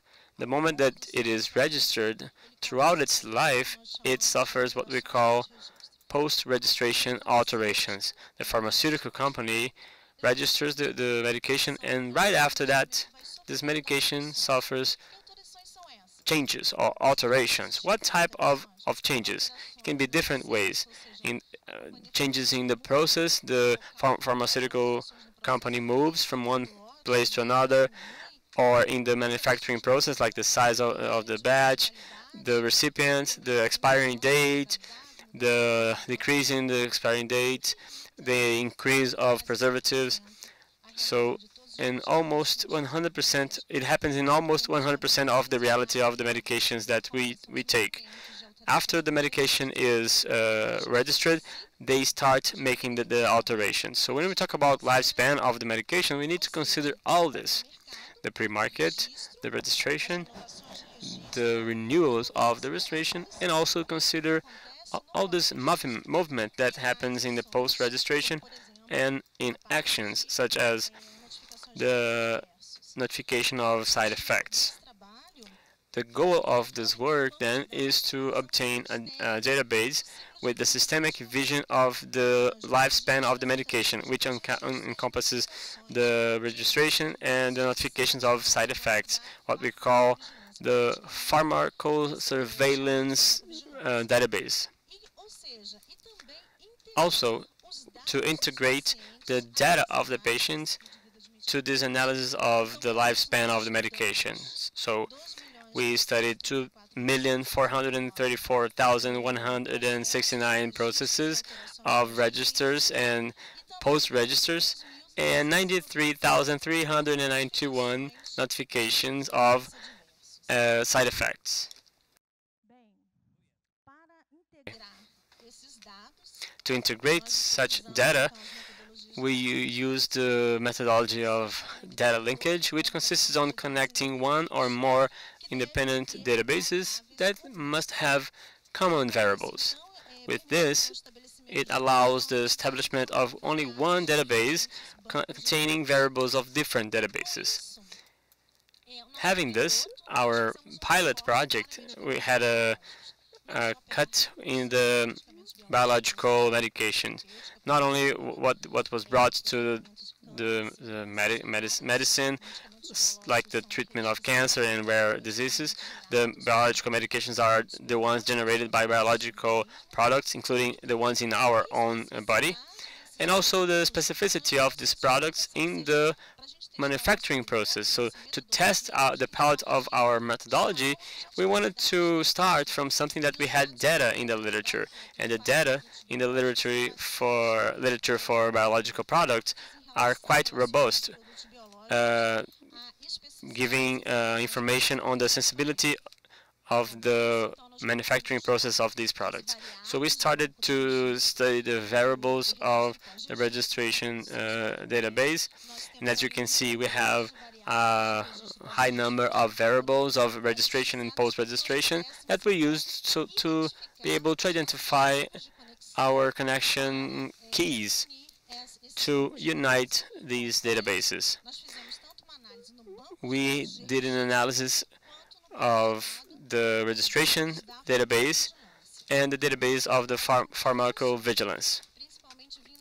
They are notification coming from hospitals, but you, ladies and gentlemen, can go to the website of Anvisa and uh, do your notification using the um, uh, health surveillance system, and then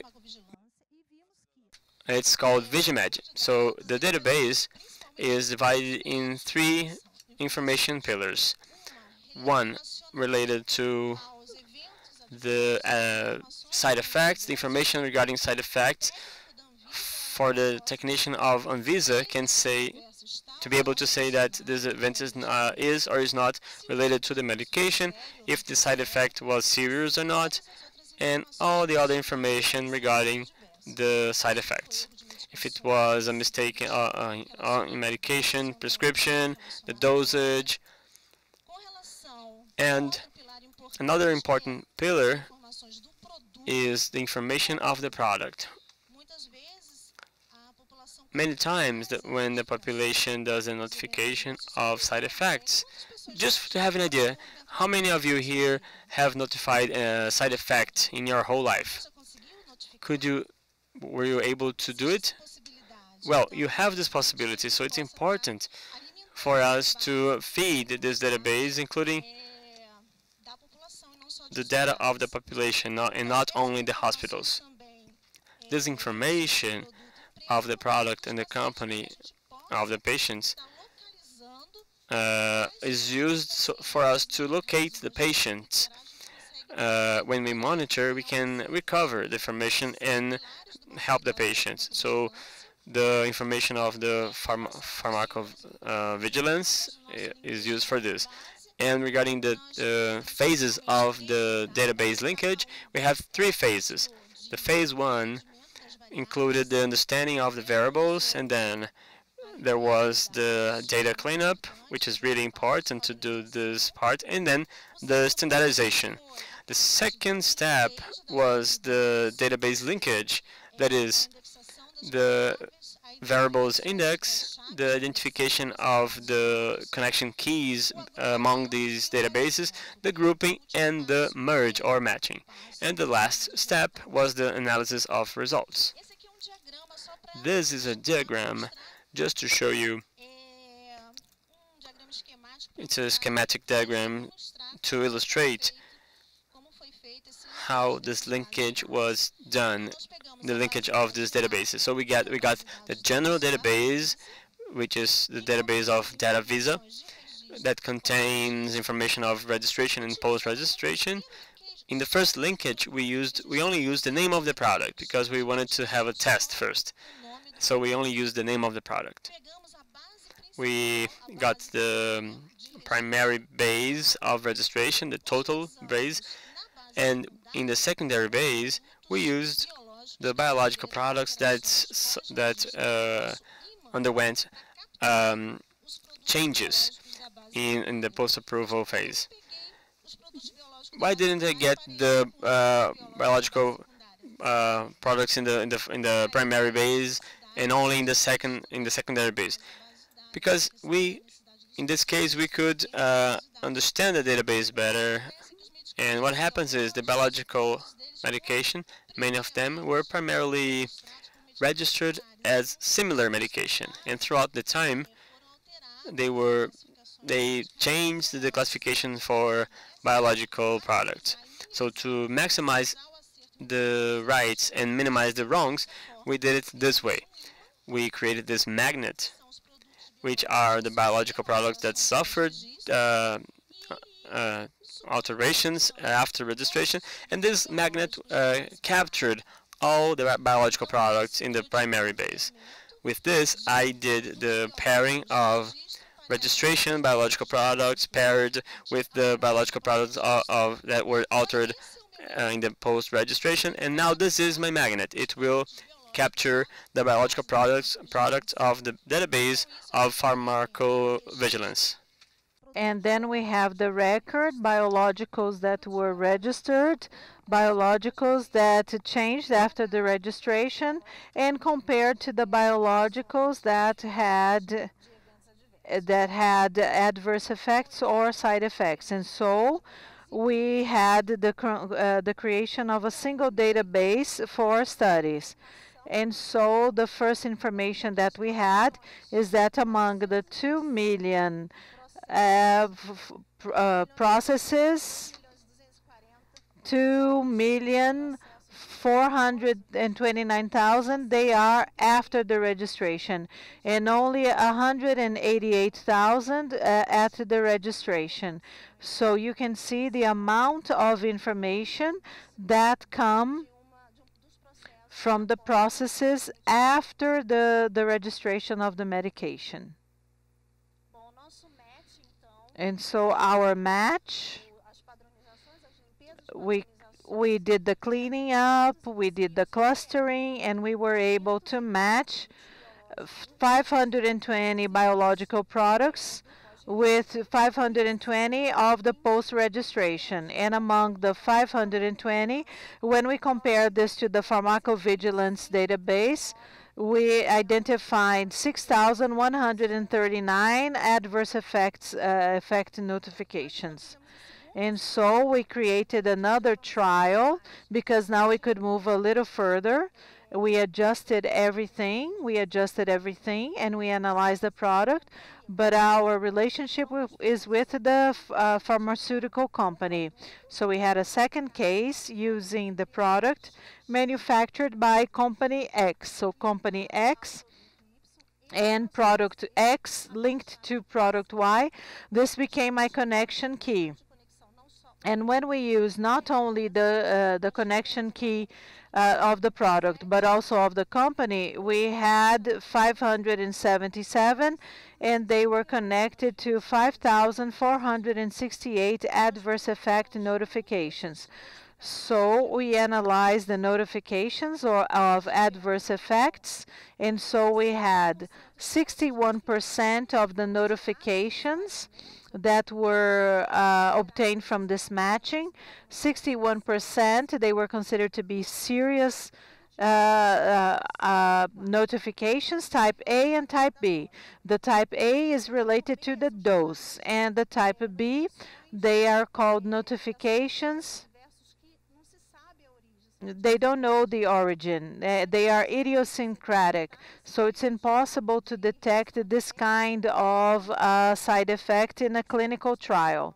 And so, what may be causing this uh, side effect of type B? We have several examples in the literature, and the type B is the main reaction that removed the medications from the market, and they are the ones that are deeply studied and more studied because we try to avoid this kind of side effect. Among the, the adverse effects, 98% were related to the medication. And so when we carried out our multivariable multivariable analysis of the notifications with the alterations post uh, registration, what were the results we obtained? That Alterações no processo alterations in the manufacturing process they are more related to a higher number of notifications of side effects. And so i this was commented at the beginning the sensitivity of the biologicals when it comes to, uh, to the manufacturing process this kind of alteration in the manufacturing process was also responsible for the highest number of serious notifications, and it was also uh, looking at the regression coefficient for the highest number of type B reactions or effects. So emphasizing that we must study these data a little deeper when it comes to biologicals and their notifications and post-registration alterations. And as conclusions, and so uh, analyzing the medications the post uh, uh, in the post-registration phase in general. With this work we were able to identify which biologicals in the post-market they had notifications of adverse effects and relate them to the post-registration alterations that these products uh, underwent during their life cycle and that the alterations, the process alterations, they were more critical in terms of number of notifications, seriousness, and type B notifications. So these studies are strategic to analyze the health uh, risk And uh, uh, these studies uh, also increase the efficiency of the analysis and they try to optimize the productive process and to reduce costs. And so we are adding more efficiency to our analysis by using the information, the data information that we have. And also adding more value because now we can study other paradigms related to the notifications and also the post-registration changes and to uh, optimize the productive process because the companies would like to have access to these data to study that. Of course, they do not want to uh, manufacture products that are uh, constantly generating notifications of side effects. So it's a win-win situation. The population wins, the manufacturer wins, and the regulatory agency also wins.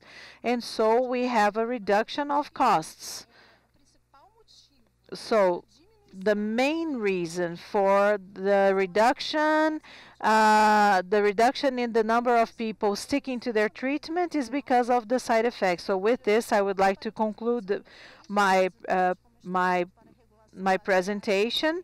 And this study points to the importance of the linkage of data as an instrument uh, so that you can have regulation based on evidence. And we can also integrate patient data to the central strategy of our analysis. So thank you very much for your attention.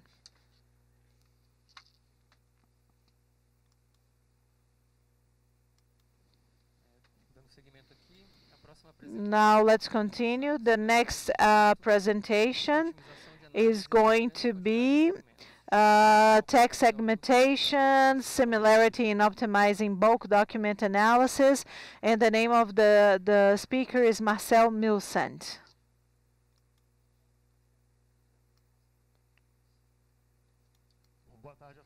Good afternoon, ladies and gentlemen. And so now we're going to talk a little bit about natural language processing, NLP, just to to I have already changed many of my slides, but I promise it's going to be a little different. Maybe you're going to be able to help me more than me informing you because you have had so many uh, presentations about this. So my name is Marcel Milcent. I am an inspector at the CVM and I am at the Department of Processes, and I'm also part of the Intelligence and Investigation uh, Department. And so these are my, and so I have, so my, my project is still very incipient. We're still just beginning. Our department is new, but our problems are old. As we saw yesterday, the amount of texts that we receive is uh, humongous. Some of them cannot be uh, converted by using the OCR, and the fonts are different, the sizes are different, the formats are different, and it's my department that carries out the deepest analysis. And sometimes we need to extract relevant information, and sometimes uh, sets of text such as this so that we can use the relevant information and we're going to use this as evidence in our uh, reports. Maybe it is to accuse somebody of a crime or to sue somebody for a crime. And so what did we think? The initial proposal was the following, to apply the text corpus and to use natural language processing and machine learning, non-supervised machine learning, to see if by doing this we can facilitate the path ahead of the analysts, of the civil servants, once they have to analyze this huge amount of texts and so that they can find the relevant information that they need to find. And this is the initial problem that we're dealing with. And I'm going to show to you how we try to do this. And please uh, feel free to make suggestions. Yes, I'm open to suggestions.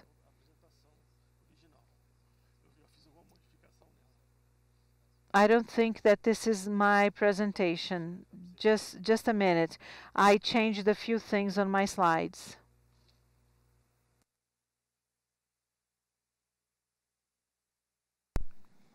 É essa, porque eu adaptei ao que a gente faz atualmente. Né? Muitas coisas que a gente faz no pré-processamento acabam sendo é, é, é, muita da vontade do freguês, né? o que precisa ser feito, se precisa tirar dígitos, se você precisa tirar é, caracteres latinos. No nosso caso, o que a gente faz é, é basicamente na parte de NLTK, a remoção da pontuação, das stop words, a tokenização e a redução radical, que é o STEM. Né? Não, não vou esquecer do, do, do, processamento de OCR lá em cima. O colega do MPF já mencionou ontem o IPED da Polícia Federal. A gente está usando ele lá. Na verdade, gente, isso veio depois de a gente começar a usar o IPED. É tem que ser é, é, é, exaltado, é open source, a gente conseguiu fazer funcionar, ele faz esse pré-processamento para a gente, já indexa todos os documentos, faz o CR quando é necessário e põe numa pasta lá de text, onde a gente consegue depois extrair tudo para depois fazer o, o, o, processamento do NLP com eles. Ah, depois a gente processa parte para a parte de vetorização, né? a gente Vou passar um pouco mais rápido nessa fase. A gente tem preferência também pelo TFDF, que faz aquela, é, aquela é, é, pesagem, né? Ela dá preferência às, às, aos tokens da frequência no documento, mas penaliza quando, no, a frequência do corpus total. A gente usa 1 a 3 n gramas, que a gente acha que consegue captar um pouquinho mais de significado quando a gente junta é, um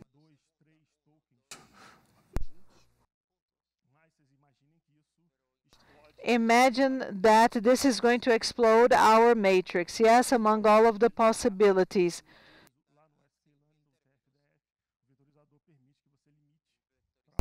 And so there is a limit for the most important ones, the 100,000 most important terms. And so we have the matrix, the sparse matrix uh, generated. And so you have documents per 100,000 uh, features. After that, we are able to do the similarity by cosine, by the cosine. So similarity by the cosine, it measures the distances between the vectors in space. And the, the higher the cosine, the more similar the terms are. And so you can use this with documents as well. So in this case, it's very simple because we already have the TF uh, LDF. And so you can do the cosine very easily because you can multiply the TF uh, LDF matrix by itself and then it's going to have a squared matrix with all of the similarities. And so we there's no way of showing some documents because they are the classified but we have a practical example here with a smaller data set and it's good to find it. It's easy to use it using the T, uh, LTK using the inaugural speeches of the American presidents uh, from Eisenhower in 53 until Obama in 2009 nine. And so it's a huge matrix, as you can see. And you have, uh, if you have all of these data, you're able to use a BI tool and you're going to select the first text. And after that, it's going to filter everything based on the similarities in the second text. And so it's going to rank everything for you based on similarity from one text to the other. And so, uh, so if we have a complaint or evidence or proof that you find relevant, then you would be able to, and this is what we aim to have, so you have text that you should read. It's like a recommendation. You should read this text. And we also bet at the beginning in clustering, always going from the simpler to the most difficult, and this could uh, give us some insight or to give some insight to the civil servants. The good thing about the clustering is that it uses the TF uh, LDF matrix And I believe somebody mentioned this morning that uh, regarding the features, it was difficult for them to generate the clustering. For us, it was not difficult, at least with the k-means. With the GMM, it, it was a little difficult. Our computers, they got stuck. And so some of them, they were similar to the k-means. So we started, we continued using the k-means. And so using the silhouette score, to say how many segments we believe are valid. And so it is a cohesion uh, uh, variable. And so the mean, the higher the mean, theoretically speaking, the number of segments would be the uh, more appropriate.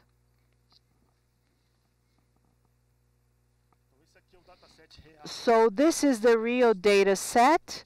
We're not going to discuss this with you deeply, but just to show you the clustering that happens. So we have five segments here, all of these colors. Uh, they are not very different, but they are on the screen they are not very different but they are truly different and so we have the PCA uh, of three dimensions so that we could plot everything here on the screen and here we already see a problem to give this to the civil servants because this was done with Plotly.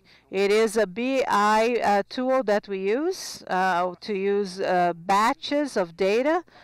And so in the Python, visual doesn't accept this very well. So if anybody understands here of JavaScript, and it would be good for you to already know how to do the customized visualizations and please talk to me come to me and chat with me. So within the research we started trying to evolve. So TF-DF has some criti criticisms when it comes to the capture of semantics and we started using uh, doc2vec and so with uh, word embedding. And then we went to doc2vec and we wanted to assess the documents themselves. So doc2vec is a generalization of word word word-vec. Word2vec. Okay, so doc to vec is a, a generalization of the word to vec. It has a fixed architecture and a hidden uh, layer I will not talk a lot about that now, but uh, there is a parameter that we could not uh, use it very very much yet, which is the window of similarity that you you aim to have. Uh, it's one of the parameters that you set when you use docvec, doc2vec. But what happened to doc2vec? After you generate the vectors, uh, that in this case is the documents, you choose the size of the, doc the documents, and you can have you can choose a similarity by cosine, input the algorithms supervised and non-supervised. You record the model, and then when you have other models, other documents in the da data set, other words, uh, actually you can do the increment of this model. In our case, it's really important because we are still working with the old cases. The old cases are complete already. At CVM, we don't get all the documents of the process in the same at the same time. You have uh, diligence. You request for it. You issue a document. You do the inspections. You request documents. So it must be done uh, in, a, in an incremental form. We are in the first phase of DocFat 2, so we didn't implement it not even to test, because it provided some strange results because we don't have a lot of experience with it. And what happened was in the same data set of the clustering, it, it was divided by 5 in TFTF, TFDF, and it was, uh, we thought it, it would trace better limits, it would capture the semantics, but it was divided only by 2. I cannot show you the documents exactly, but we saw that it didn't make a lot of sense in the type of in the type of division that it made. So we compared the similarity by cosine of TFDF in, uh, in the following way. We ran doc2vec like a bit search, like a grid search, and the times of number of times of training, uh, and we com uh, compared the indexes of the 20 largest similarities of each text, and we crossed it, and we see the coincidence uh, between the two of them. So this coincidence varied um, of 6.65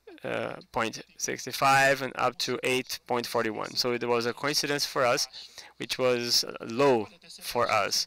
It must it might be low because doc2vec is much better than TFDF, but we could not run with other parameters for us to have this certification in parallel to this. Also, we could not have references that indicate the use of doc2vec in long documents. We had the presentation of our colleague from uh, from Unseen, and it brings us an interesting suggestion uh, about this. If you get the vector of the words and multiply it by the TF-DF, but we didn't do this. We will think of doing it now, for sure, and we could not establish it very well it is valid for us, if, it's, if, it, if it was valid for us or not. Uh, there are documents in our data sets that are really long, over 1,000 pages, and we are, we're not sure if that in that case our parameters are adjusted for this type of evaluation. The current moment of the project is this. We used corpus of old cases, the OCR. It was done by I, uh, um, IPED, TFDF with a cos cosine similarity and the segmentation uh, by k-means and the silhouette score to measure. The next steps that we think are the real cases, the current real cases, and we see we want to see the difficulties we're going to have uh, some type of evaluation, quantitative evaluation of the of these cases. it, it is non-supervised at the moment, and so it's hard for us to have this evaluation. And we think that the quantitative indicator of that, that, that is successful has to go through the economy of time that the server will have to instruct that process and to have conviction. We also, as you can, as you could see, we really love uh, visualization. We want to keep uh, having these insights of visualization, and how we, we're going to offer that to the server. And what is in the pipeline of thoughts is the last line, the similarity among tests to model the similarities, thinking of a chart in uh, thinking of, uh, of it as a network because we are talking about relationships among entities. So that could be a network of nodes. Uh, the nodes in this case are the documents. So just to give you the an idea of the visualization, it's the same data set. The color is not very good, but it is modeled like this using the 20 great, uh, biggest similarities up down to the 20th biggest similarity as something to modulate the graph. Here it is the same one, but it's colored by the colors of segmentation and clustering. We still don't know where we're going to reach with this, but it's we know it's something that may provide us some good results in the future. We hope uh, we will have interesting suggestions for us. Thank you for your attention.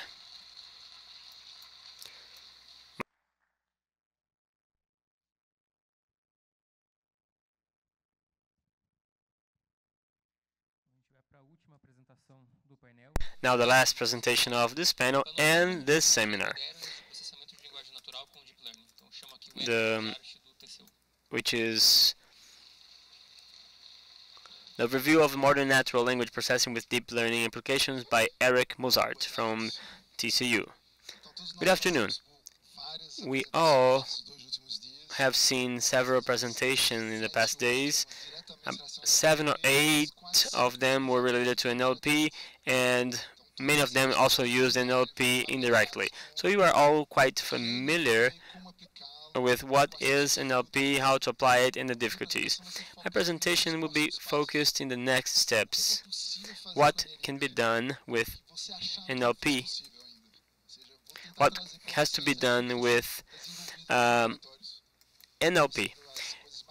And what is being developed in the labs, the new fun functionalities of technology. Here, a quick dis uh, disclosure.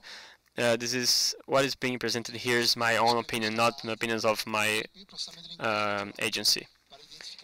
We the goals is to describe applications of the state of art, the art of NLP, identify new opportunities, expand the vision and the potential of the NLP, and how to bring capacity to the modern uh, NLP.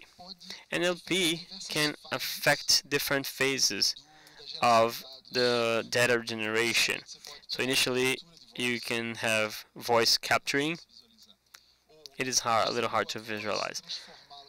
Once you get the voice, you can make it um, transform into text, which is uh, uh, speech recognition, and also you can make it into a semantic uh, transformation that brings meaning to the text. Uh, when you have the semantic representation, you can produce the text and a synthesis of words uh, from the text. These are these phases two and five work very well, and the automatic transcription and synthetic voice really works very well. The automatic transcription, uh, the error rate is really low, and also we have elements that generate voice from the text with the level of quality that people cannot distinguish between the synthetic voice and the human voice. The great challenge still is on how to build the semantic representation uh, from the text and how to generate new text from the semantic representation. So we're going to focus on this part. All we mentioned regarding NLP uh, represents different applications. So I will not repeat the applications. I'll just focus on the challenges. We saw it is that it, is hard to do an NLP because it's hard to deal with the ambiguity uh, uh, issues, polysemy, with like one word has different meanings, and also synonyms, big problems with the knowledge uh, of the world. We have a text talking about something, but the text is not alone is not enough. You need to have other information on how the world works or the uh, the domin the, the meaning uh, the domination of knowledge. Also is the mindset of the speaker. What is in the text has to be can be indirect. You have to understand uh, what the character of a certain novel is saying to understand what it is sad in a, in a situation. Also, the issue of empathy and common sense. How can you quantify common sense? Many projects attempted to do it, showing uh, sets of rules. But when you when you write even one million of rules, you you don't reach uh, common sense. So it is really difficult to dimension and to define through rules. In the past two years, more intensively the past six months, there has been a revolution of NLP. The qualitative leap that made that was made possible recently is really incredible. The comparison uh, to what we, is do is being done is uh, compared to the computational uh, vision, uh, vision. It went through a qualitative leap uh, about five years ago, the computational vision, in which the use of algorithms of deep learning and transfer of learning allowed uh, that human limits of uh, performance in vision were reached. And similar things are happening now with NLP. So I will quickly talk about learning transfer. Basically, you train your model in a corpus, in a, in a set of texts, and it has the advantage of not being labeled. You don't need labels explaining your text. It generates uh, supervised activities extracting labels from the text itself, such as predicting the next uh, sent, uh, sentence or the next word. You have a text, and it tries to guess the next word only analy by analyzing the previous words. So this task is called language model. You have the comprehension of the language, language that is so good that you can guess what will be the next uh, word with a high rate of um, uh, right of accuracy, using the rules of language and also the understanding of what is being written in the text. Once you create a language model using text without labels, your model learned the basic element of language. When you use this trained model with a set of texts and another specific task, for this new task, you can have a set, uh, uh, in a limited set of texts. And still, you'll be able to have a very good performance. So this is the idea of learning transfer. You learn with the domain, you use the knowledge extracted by this domain in a new domain. Oh, the, the closer the domains are, better is the transference. If they are too distant, the transferring is not so good. The learning models that use uh, learning transfer were quite successful in terms of um, performance, and it in in in a, in a short in, in a short time uh, period of time. In the past months, a sequence of new models had a, a growing uh, growth, even um, overcoming the human uh, performance regarding text uh, understanding.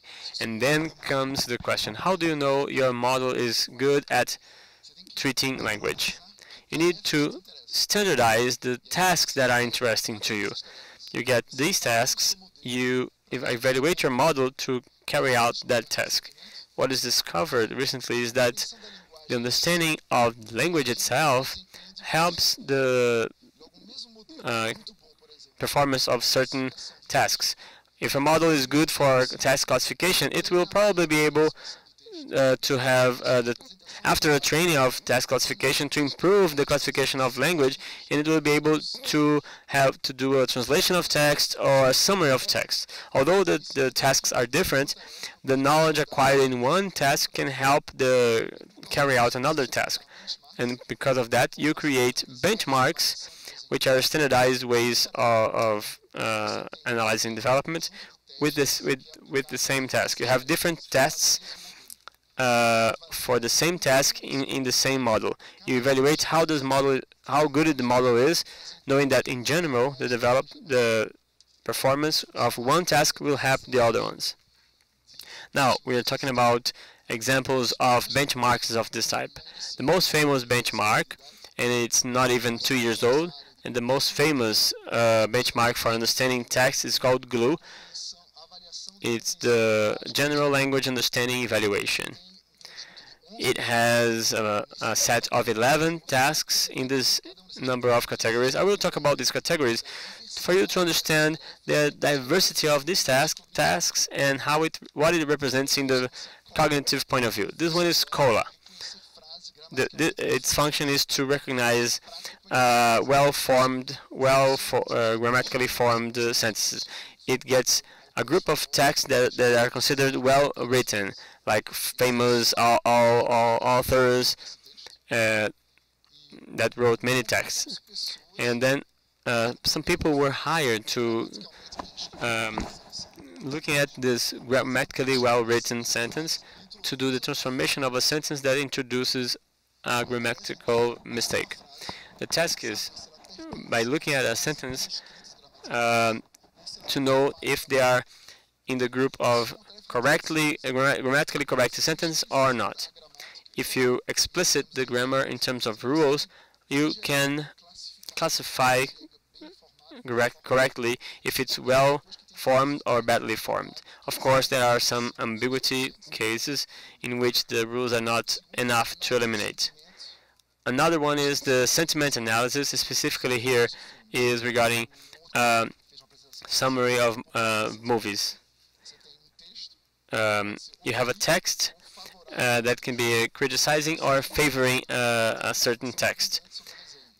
And you have re redundant information of this uh, summary of the movie and another summary of the person who, who graded this uh, this movie. If it's four or five stars, it's uh, you understand that the text is favorable to the text. If it's one two stars, it's not favorable. So uh, it can uh, interpret if that text is uh, criticism or is it fav in favor of the movie. So it's a little more difficult because it, uh, does a classification of sentimental ana analysis of the movie. It uses uh, machine learning with different number of negative and positive texts, and little by little the machine develops internal rules of how the relative frequency of different words is associated to a positive feeling. Uh, another, the semantic equivalence in, in sentences. You have the well-written corpus, or group of, of texts, and you get a sentence, and you create another sentence that is similar to the original sentence or the paraphrases, and, but it has a different in, the, in meaning. And the task is given two sentences to say if they are equivalent to one another or if they say different things. Can you see how it becomes more and more complex, going to an abstract semantic layer that is hard to be described in terms of rules. And finally, a generalization of the previous one, uh, instead of just saying if it's equivalent or not in terms of semantics, it, it shows the level of similarity in a scale, uh, if it's like 20% similar or 80% similar. This other one here brings the logical inference of premises and hypotheses. The one sentence says something general, and another one says something that is more specific. So you need to, to infer, classify if the second one is a logical um, continuation of the first one. But these sentences are not described in uh, language of formal logic. We could do that if the data wasn't like that, but they are in natural language. Finally, uh, questions and answers.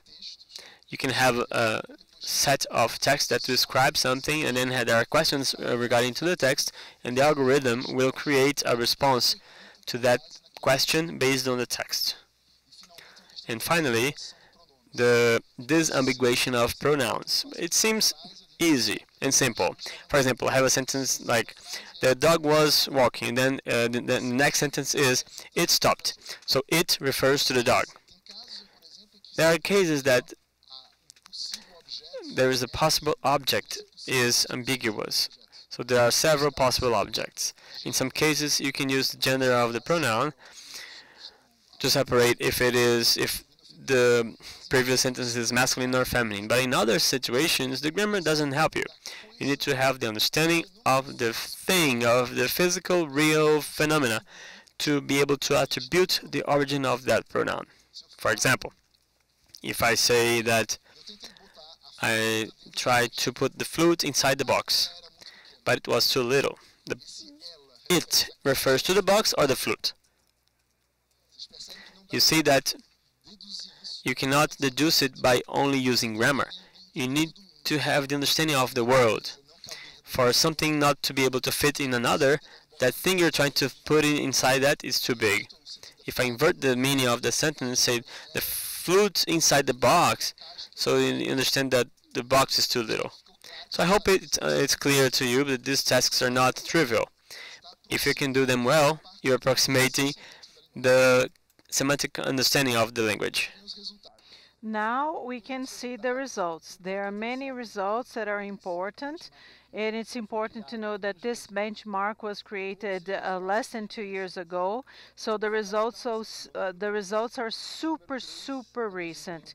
And the, th the third one is human development in the last two months and many models started being created and the, the performance was higher than the ones of human beings. Now I'm going to discuss another uh, text interpretation problem. So this is a data set. It was written by uh, human beings, and so they get articles from Wikipedia, and they ask questions about the content on Wikipedia. And so they already know what would be the right answer that corresponds to each one of these questions. And they also create uh, controversial questions that seems to be your question, but encompass knowledge that is not on that Wikipedia page. So the algorithm based on that question is either going to give you the correct answer or to say there are no answers to that question in that text. And then you can see that the human performance was overcome by this combination between BERT and other other DAE, AOA, and others. And so the performance is growing quickly. So we believe that the superiority of the behavior and the performance of algorithms is going to continue growing and this is very important. Sometimes we tend to think that our performance is the best, is wonderful. No, it's possible to have a better performance depending on the cognitive items. And then finally, we have a data set called RACE, which is Reading Comprehension from English Examinations. And so this data set was built by Chinese professors so that they could assess their students when it comes to reading comprehension exercises. So it was created for children between the ages of 12 and 18. And we have many, many excerpts and there are questions, there are co reading comprehension questions related to these texts. And so this was something that was created to test human beings. So it goes way beyond vocabulary questions, linguistics questions. So it has to do with common sense. And so that is the differential of this these data set. So what would be a good title for this excerpt in the text? What was the attitude of the author, author of the text related to the industry awards? What are the following, uh, which one of the following statements is wrong according to the text? And so uh, so there is an exercise uh, uh, uh similar to this. I'm going to read this very briefly. I apologize to the interpreters if they cannot follow up. So the, the taxi driver didn't have a single ride all day long. When he was driving by the railway station, he said, Where are you going? I'm going to the Red Hotel. When the taxi driver heard that, he didn't feel happy because the young man was only going to give him $3. But then he had an idea.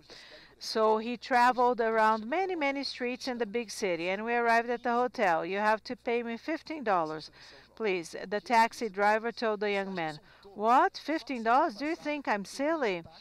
I got a taxi uh, at the railway station and I only paid $12. I know how much I have to pay for the trip.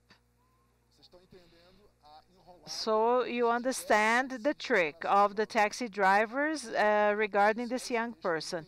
And this uh, text is complex to understand what's behind it and the questions. Probably the taxi driver finally received how many dollars? Which of the following statements is true?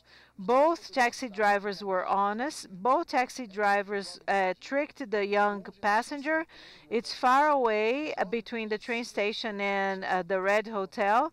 And the young man knew the distance between the train station and the Red Hotel. And already, this exercise already shows you how difficult the cognitive analysis was and the performance, once again, was higher than the human performance. So this is the performance of the best model that was published in June of 2018 and it was significantly better than the human behavior done by mechanical Turkers. They are workers that give answers to uh, to answers to the mechanical tutors uh, online. They are paid to do this with uh, simpler texts.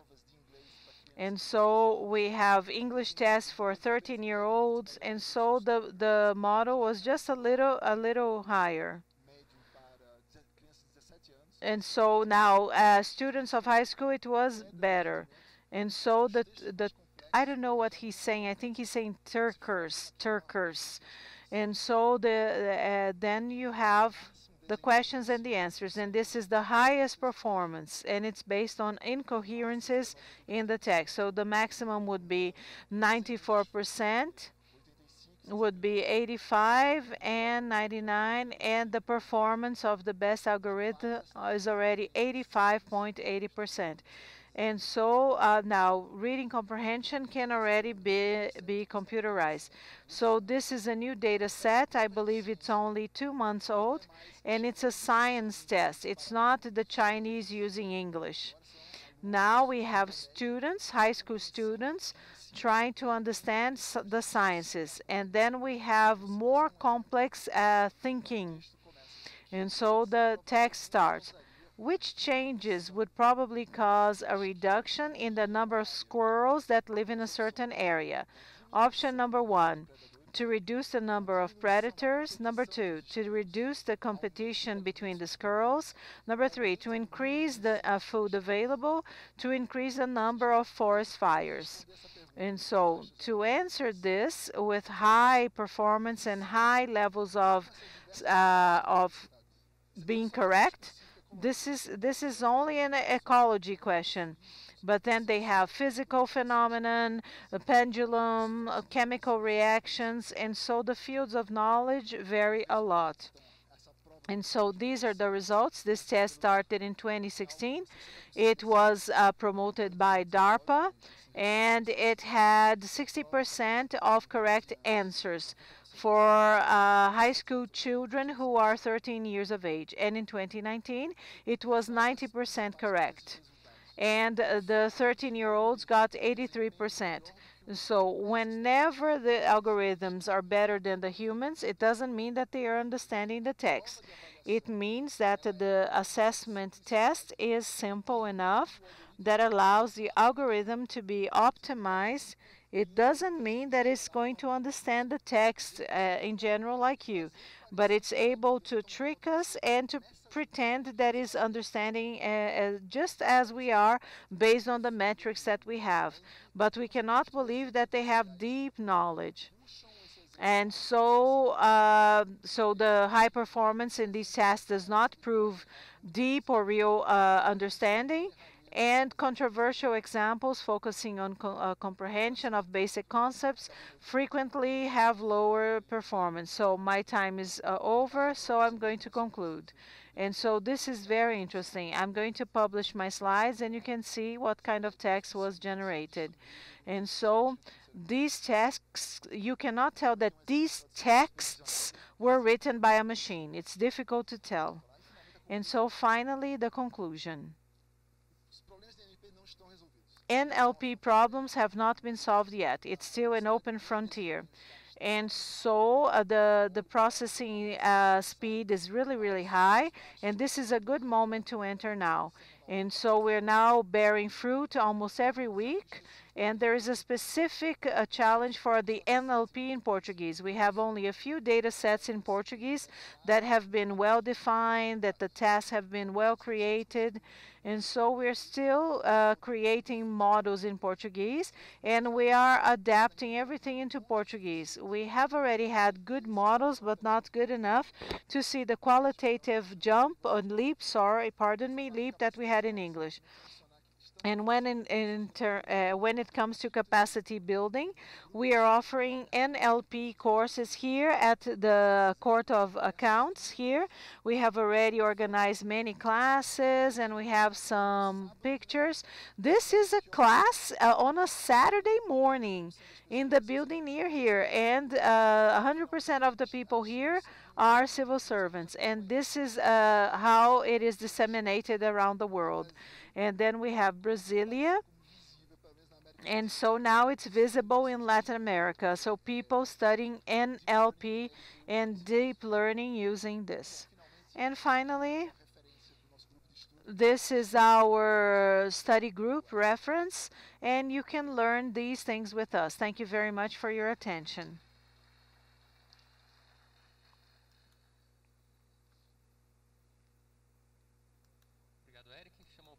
Thank you, Erick. Now I would like to invite everybody to uh, to the stage so that we can have the Q&A session.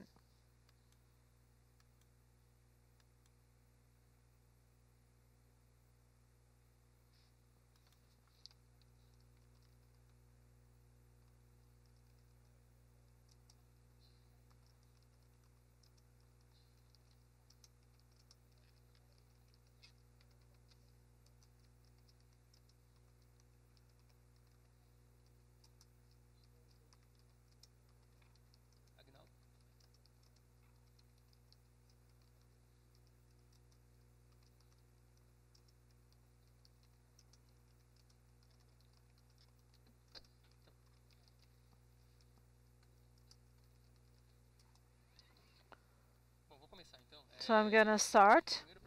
The first question is for Erick. We believe that this panorama is amazing. And so we are planting seeds in the people who are watching the seminar, attending the seminar, in terms of the tropicalization of these tools. So where should we start? The person saw this, they found it awesome. Oh yes, I need this, this would solve my problem, a specific problem in my agency, but it's in English. So where should I start to uh, tropicalize this? What are the chances of working out? What are the chances of not working out? So our experience with LM Fit, LM Fit, and so it's the biggest problem. First was the WELM, and the other one was LM Fit. And it was created by the author of the course that we call Fast AI. And so when we talk, talk about LM Fit, they're going to give us a recipe on how to tropicalize everything. And you're going to do the scrapping of the Wikipedia. You can download the Wikipedia in Portuguese, and this is going to give you the corpus, and it, there it's going to learn Portuguese. And so once you have trained the new model using the Wikipedia in Portuguese, it's hard work. It's going to require uh, hard work but it's going to require 10 hours of training.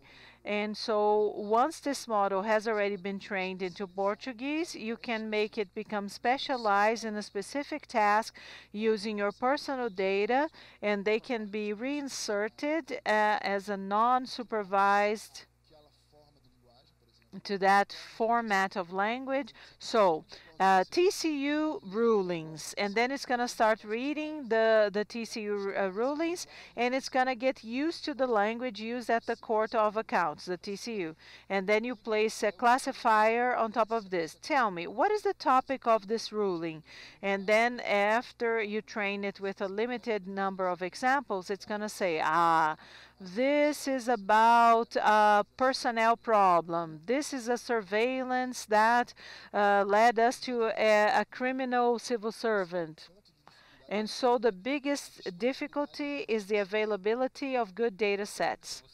I have a question on Twitter for you, and Tainá Oliveira asked this question. Has anybody used NLP within the electronic uh, repository of information? Because you have all the bureaucracy of several different public agencies, and a lot of intelligence can be extracted, but everything is buried, and you need this expertise so that you can do the data mining and require uh, and uh, obtain good information. Have you seen it? No, I haven't seen any application. And so we need to have a boom of data sets. We need a lot of text. We need tens of thousands of texts with a certain minimum size, a minimum size four or five sentences with a minimum number of, words and associated metadata. So the translation of this text to another language. And so maybe um, uh, many metadata, many metadata could be inferred and then you would be able to create a model like this. So I have many, many questions. The first question is, have you been talking to the federal government about this? Have you been exchanging experience? Are you still testing everything locally and validating things? Well, the project is recent. It started in October of last year. And now we are waiting for the second phase to be launched uh, to use the reference table. And then we're going to carry out the, the simulations of electronic public biddings. And we're going to have a minimum amount of numbers to come here and even talk to you. But no, no contact has been made with the federal government, only in the state uh, court uh, courts of accounts. Are you going to have an API of this? So that other levels of the government, the state governments, the the federal government can consume this? Well, the API is not public yet, but it's already working. And I heard yesterday from the project because the project manager is uh, is always the last person to know. And so there are some people in the Northeast region, and they signed uh, an agreement that the platform, the price of the market, was going to be used by other states in the Northeast. And so I imagine are you going to do that? And so they have already concluded everything. And so there is an entire team of people. And I believe they're going to use this. Are you going to use it? And so we don't know if we're going to concentrate the database inside the, the Paraíba Court of Accounts. A Paraíba is a state in the Northeast, and so we have data from Acefaz, from Pernambuco, and from Espírito Santo to do something similar. I don't know if they want to uh, uh, make everything be clustered there and the database would be there, the platform would be there, or if they want to share the platform with us. I don't know what's going to be the decision, but I believe I believe that it's going to be concentrated there. But the API is ready, it's working as a, uh, the, for the first two and for the second two and we need to replicate this process and universalize this process. At the federal government, we don't have access to the electronic invoices for the federal uh, procurement processes. Even though they are public information, we do not have access to this. They are on the, the government uh, bulletin, uh, information bulletin, but information newsletter, but we don't have this.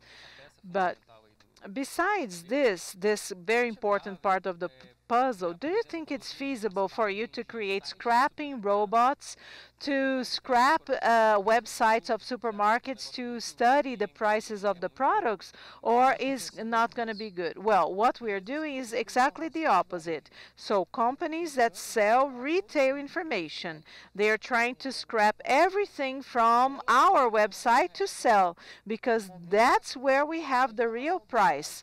So the information on our website, they are underestimated because we don't have logistics support and so everything becomes cheaper than the the real retail prices and so regarding the regarding the federal government not having access to the information, and so a few years ago there was an agreement among all of the states and the federal government to normalize the layout of the electronic invoices. And the agreement was each state is going to have their own database, but there's going to be a centralized backup database managed by the IRS this information already exists, but the access is something different. It's a whole different story.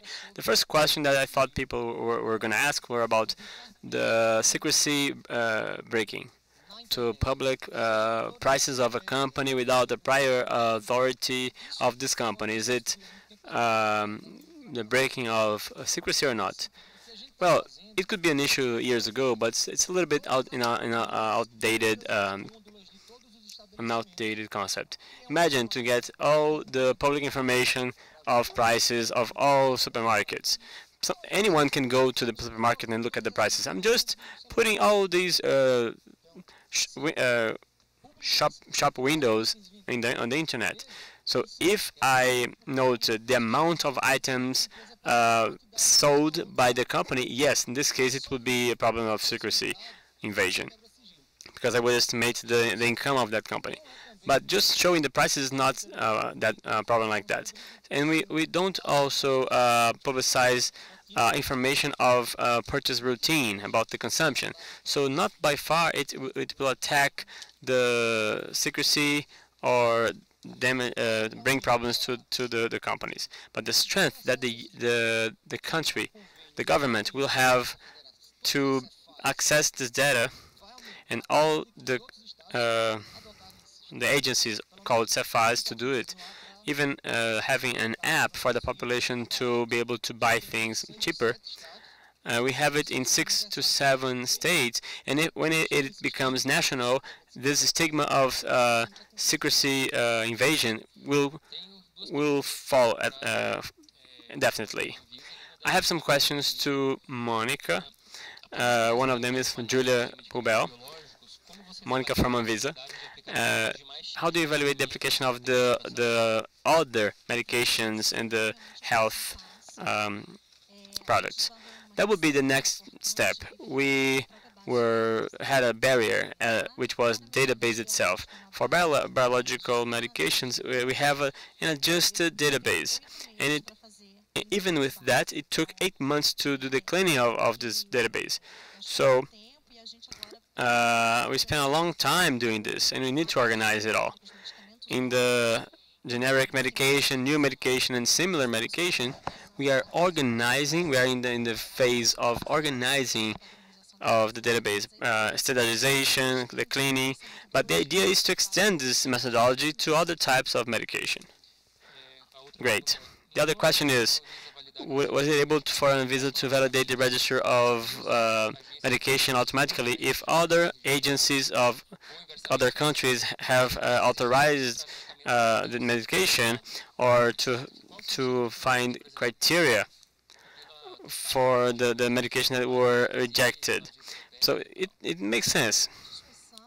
It is this discussion, I'm going to give my opinion, it's not the opinion of the agency. It's a very uh, large uh, discussion. We have a, mo- a global movement in terms of organizing data. And what happens is Brazil has um, climate change, climate, uh, climate zones that are different from other countries. Um, so we have regional specificities, and it, it is not only a characteristic of Brazil. Other countries that are not part of the U.S. and Europe, they also need, they also request these regional adaptations.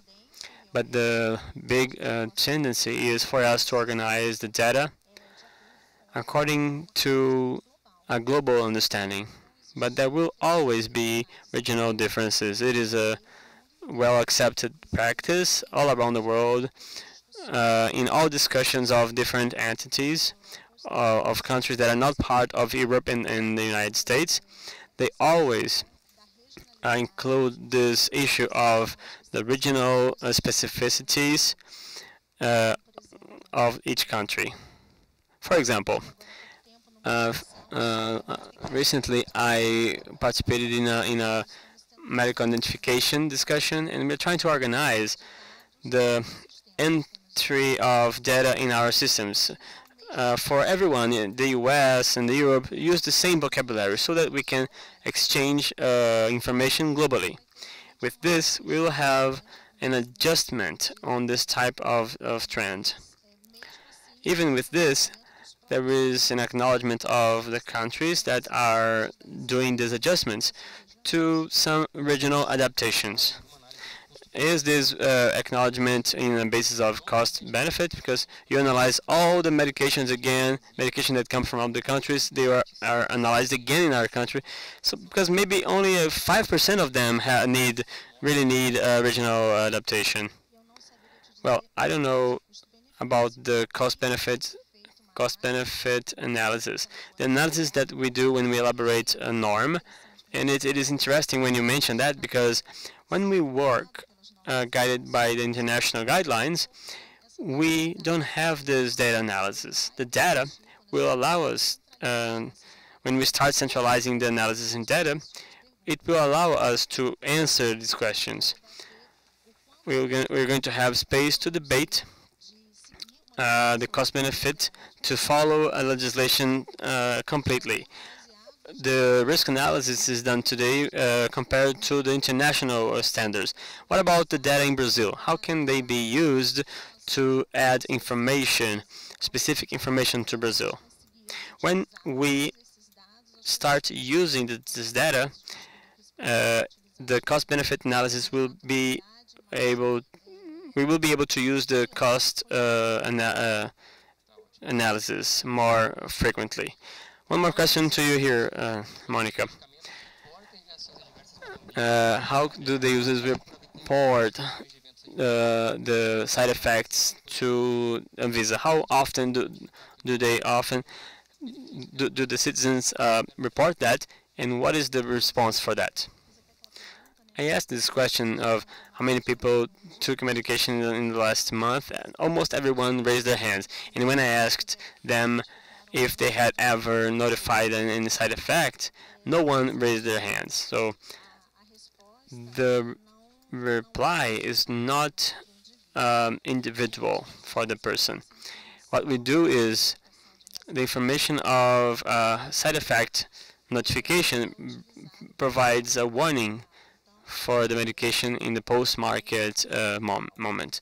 When, the, when you have this notification and this warning is made and it has a degree that is higher than expected, we have reactions of health surveillance in this medication. And I want to add that it is important for the, the population to notify it uh, because it will um, aggregate or it will add uh, a signal for the risk of that medication on the market. It's, it's, it, it can create an important uh, warning.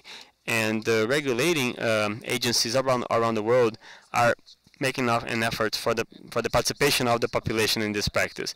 Marcelo, could you talk about the business, the problem that you're trying to solve?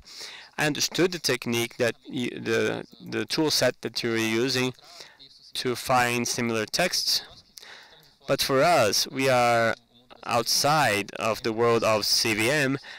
What what is it good for exactly? Um, do you have the um, hard disk of 12 uh, companies and you, you want to check the documents that one company exchanged with the other? So at the end of the process, what is it? What is the use of it? What is what problem is it solving? You gave a great example. It is not only one way, but it's a group of documents that we gather through the investigation in order to have uh, evidences or proof that people committed the crimes in the market, either in the cooperative world, societies, or illegal recuperation in the stock market. It it all can be used. So it is one more problem that we have there in the in our superintendents that we can deal with all the areas, all the technical areas of CVM. Um, funds, market, market, external auditing, uh, independent auditing. The, the type of documents that we can find and be able to analyze to prove or not by filing or to propose uh, the filing of a person. It can also have uh, sentence repercussions. We can um, look uh, look at the prosecution office. So to find information that we can transform in, into proof for a sentence. In the in, in our case, the administrative case. Now the hardest question I'm going to ask Erick. Erick, it's a question by Julia Pubel on Twitter. So many um, performances will overcome the human uh, performance. What uh, human uh, abilities are uh, threat in, under threat and what are safeguards? It's a uh, difficult question. There's no good answer for that. It's speculative. But what we, when we consider that there's a certain type of task that requires requires a typically cognitive capacity that is human, a sensibility. Uh, we think that It's just a matter of time that you can find another model, another way to use the available data to make projections and calculations that will over, overcome the development develop the performance that is considered to be high. So there's there are attempts to say that we are strong in some things that the machines are not as good. For example, common sense, which is something really hard to be explicit. But many elements of common sense, and we can see that in the recent models, can be extracted in the form of automatic text. But we needed to check all text written by mankind. In that case, you would have some examples of the application of common sense. So you can general, generalize the application of good sense by using these examples. Let me just update to check if there are more questions. A question to Marcel from CVM. The results with Doc2Vec seem that they have not been really good. Do you have an explanation for that? Did you try to change the training algorithm of Doc2Vec and compare BDVN and bag of words? It's a good question.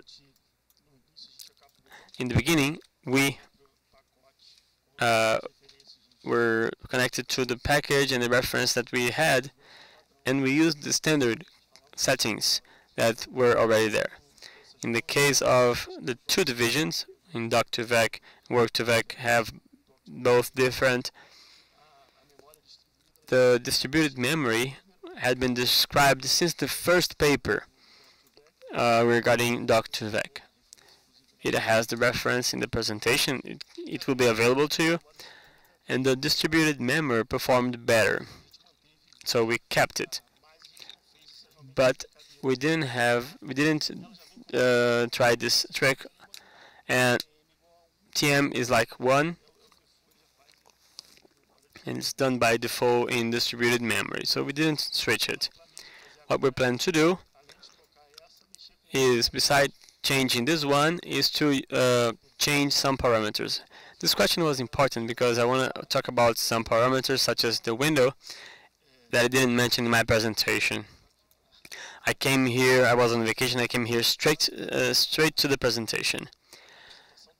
I was writing the presentation, reviewing it, and I found a video of one of the developers of the G5. Uh, it's a video of made in Berlin, 2007. And he mentions the parameter, and I thought it was interesting. When you have it small, it provides a similarity that is the this thing of the exchange or the synonym like clothes for example I will relate clothes to clothing in other words if the these words are in the vocabulary but when you enlarge this window cons to consider 10 words one next to the other it has meanings and semantics and similarities of other types of relations. For example, clothes and wardrobe. So they are not synonyms, but they have a similarity that can be captured. So that's what we intend to do later, to add this type of parameter. So this is it, uh, ladies and gentlemen. Thank you so much for the participants. Thank you for the ones who stayed until the end of this, this day. So we're going to wrap up the seminar. We thank you very much for your presence. And remember the workshops that will happen tomorrow. Erick already explained the rules and we wait for you here tomorrow. Thank you so much.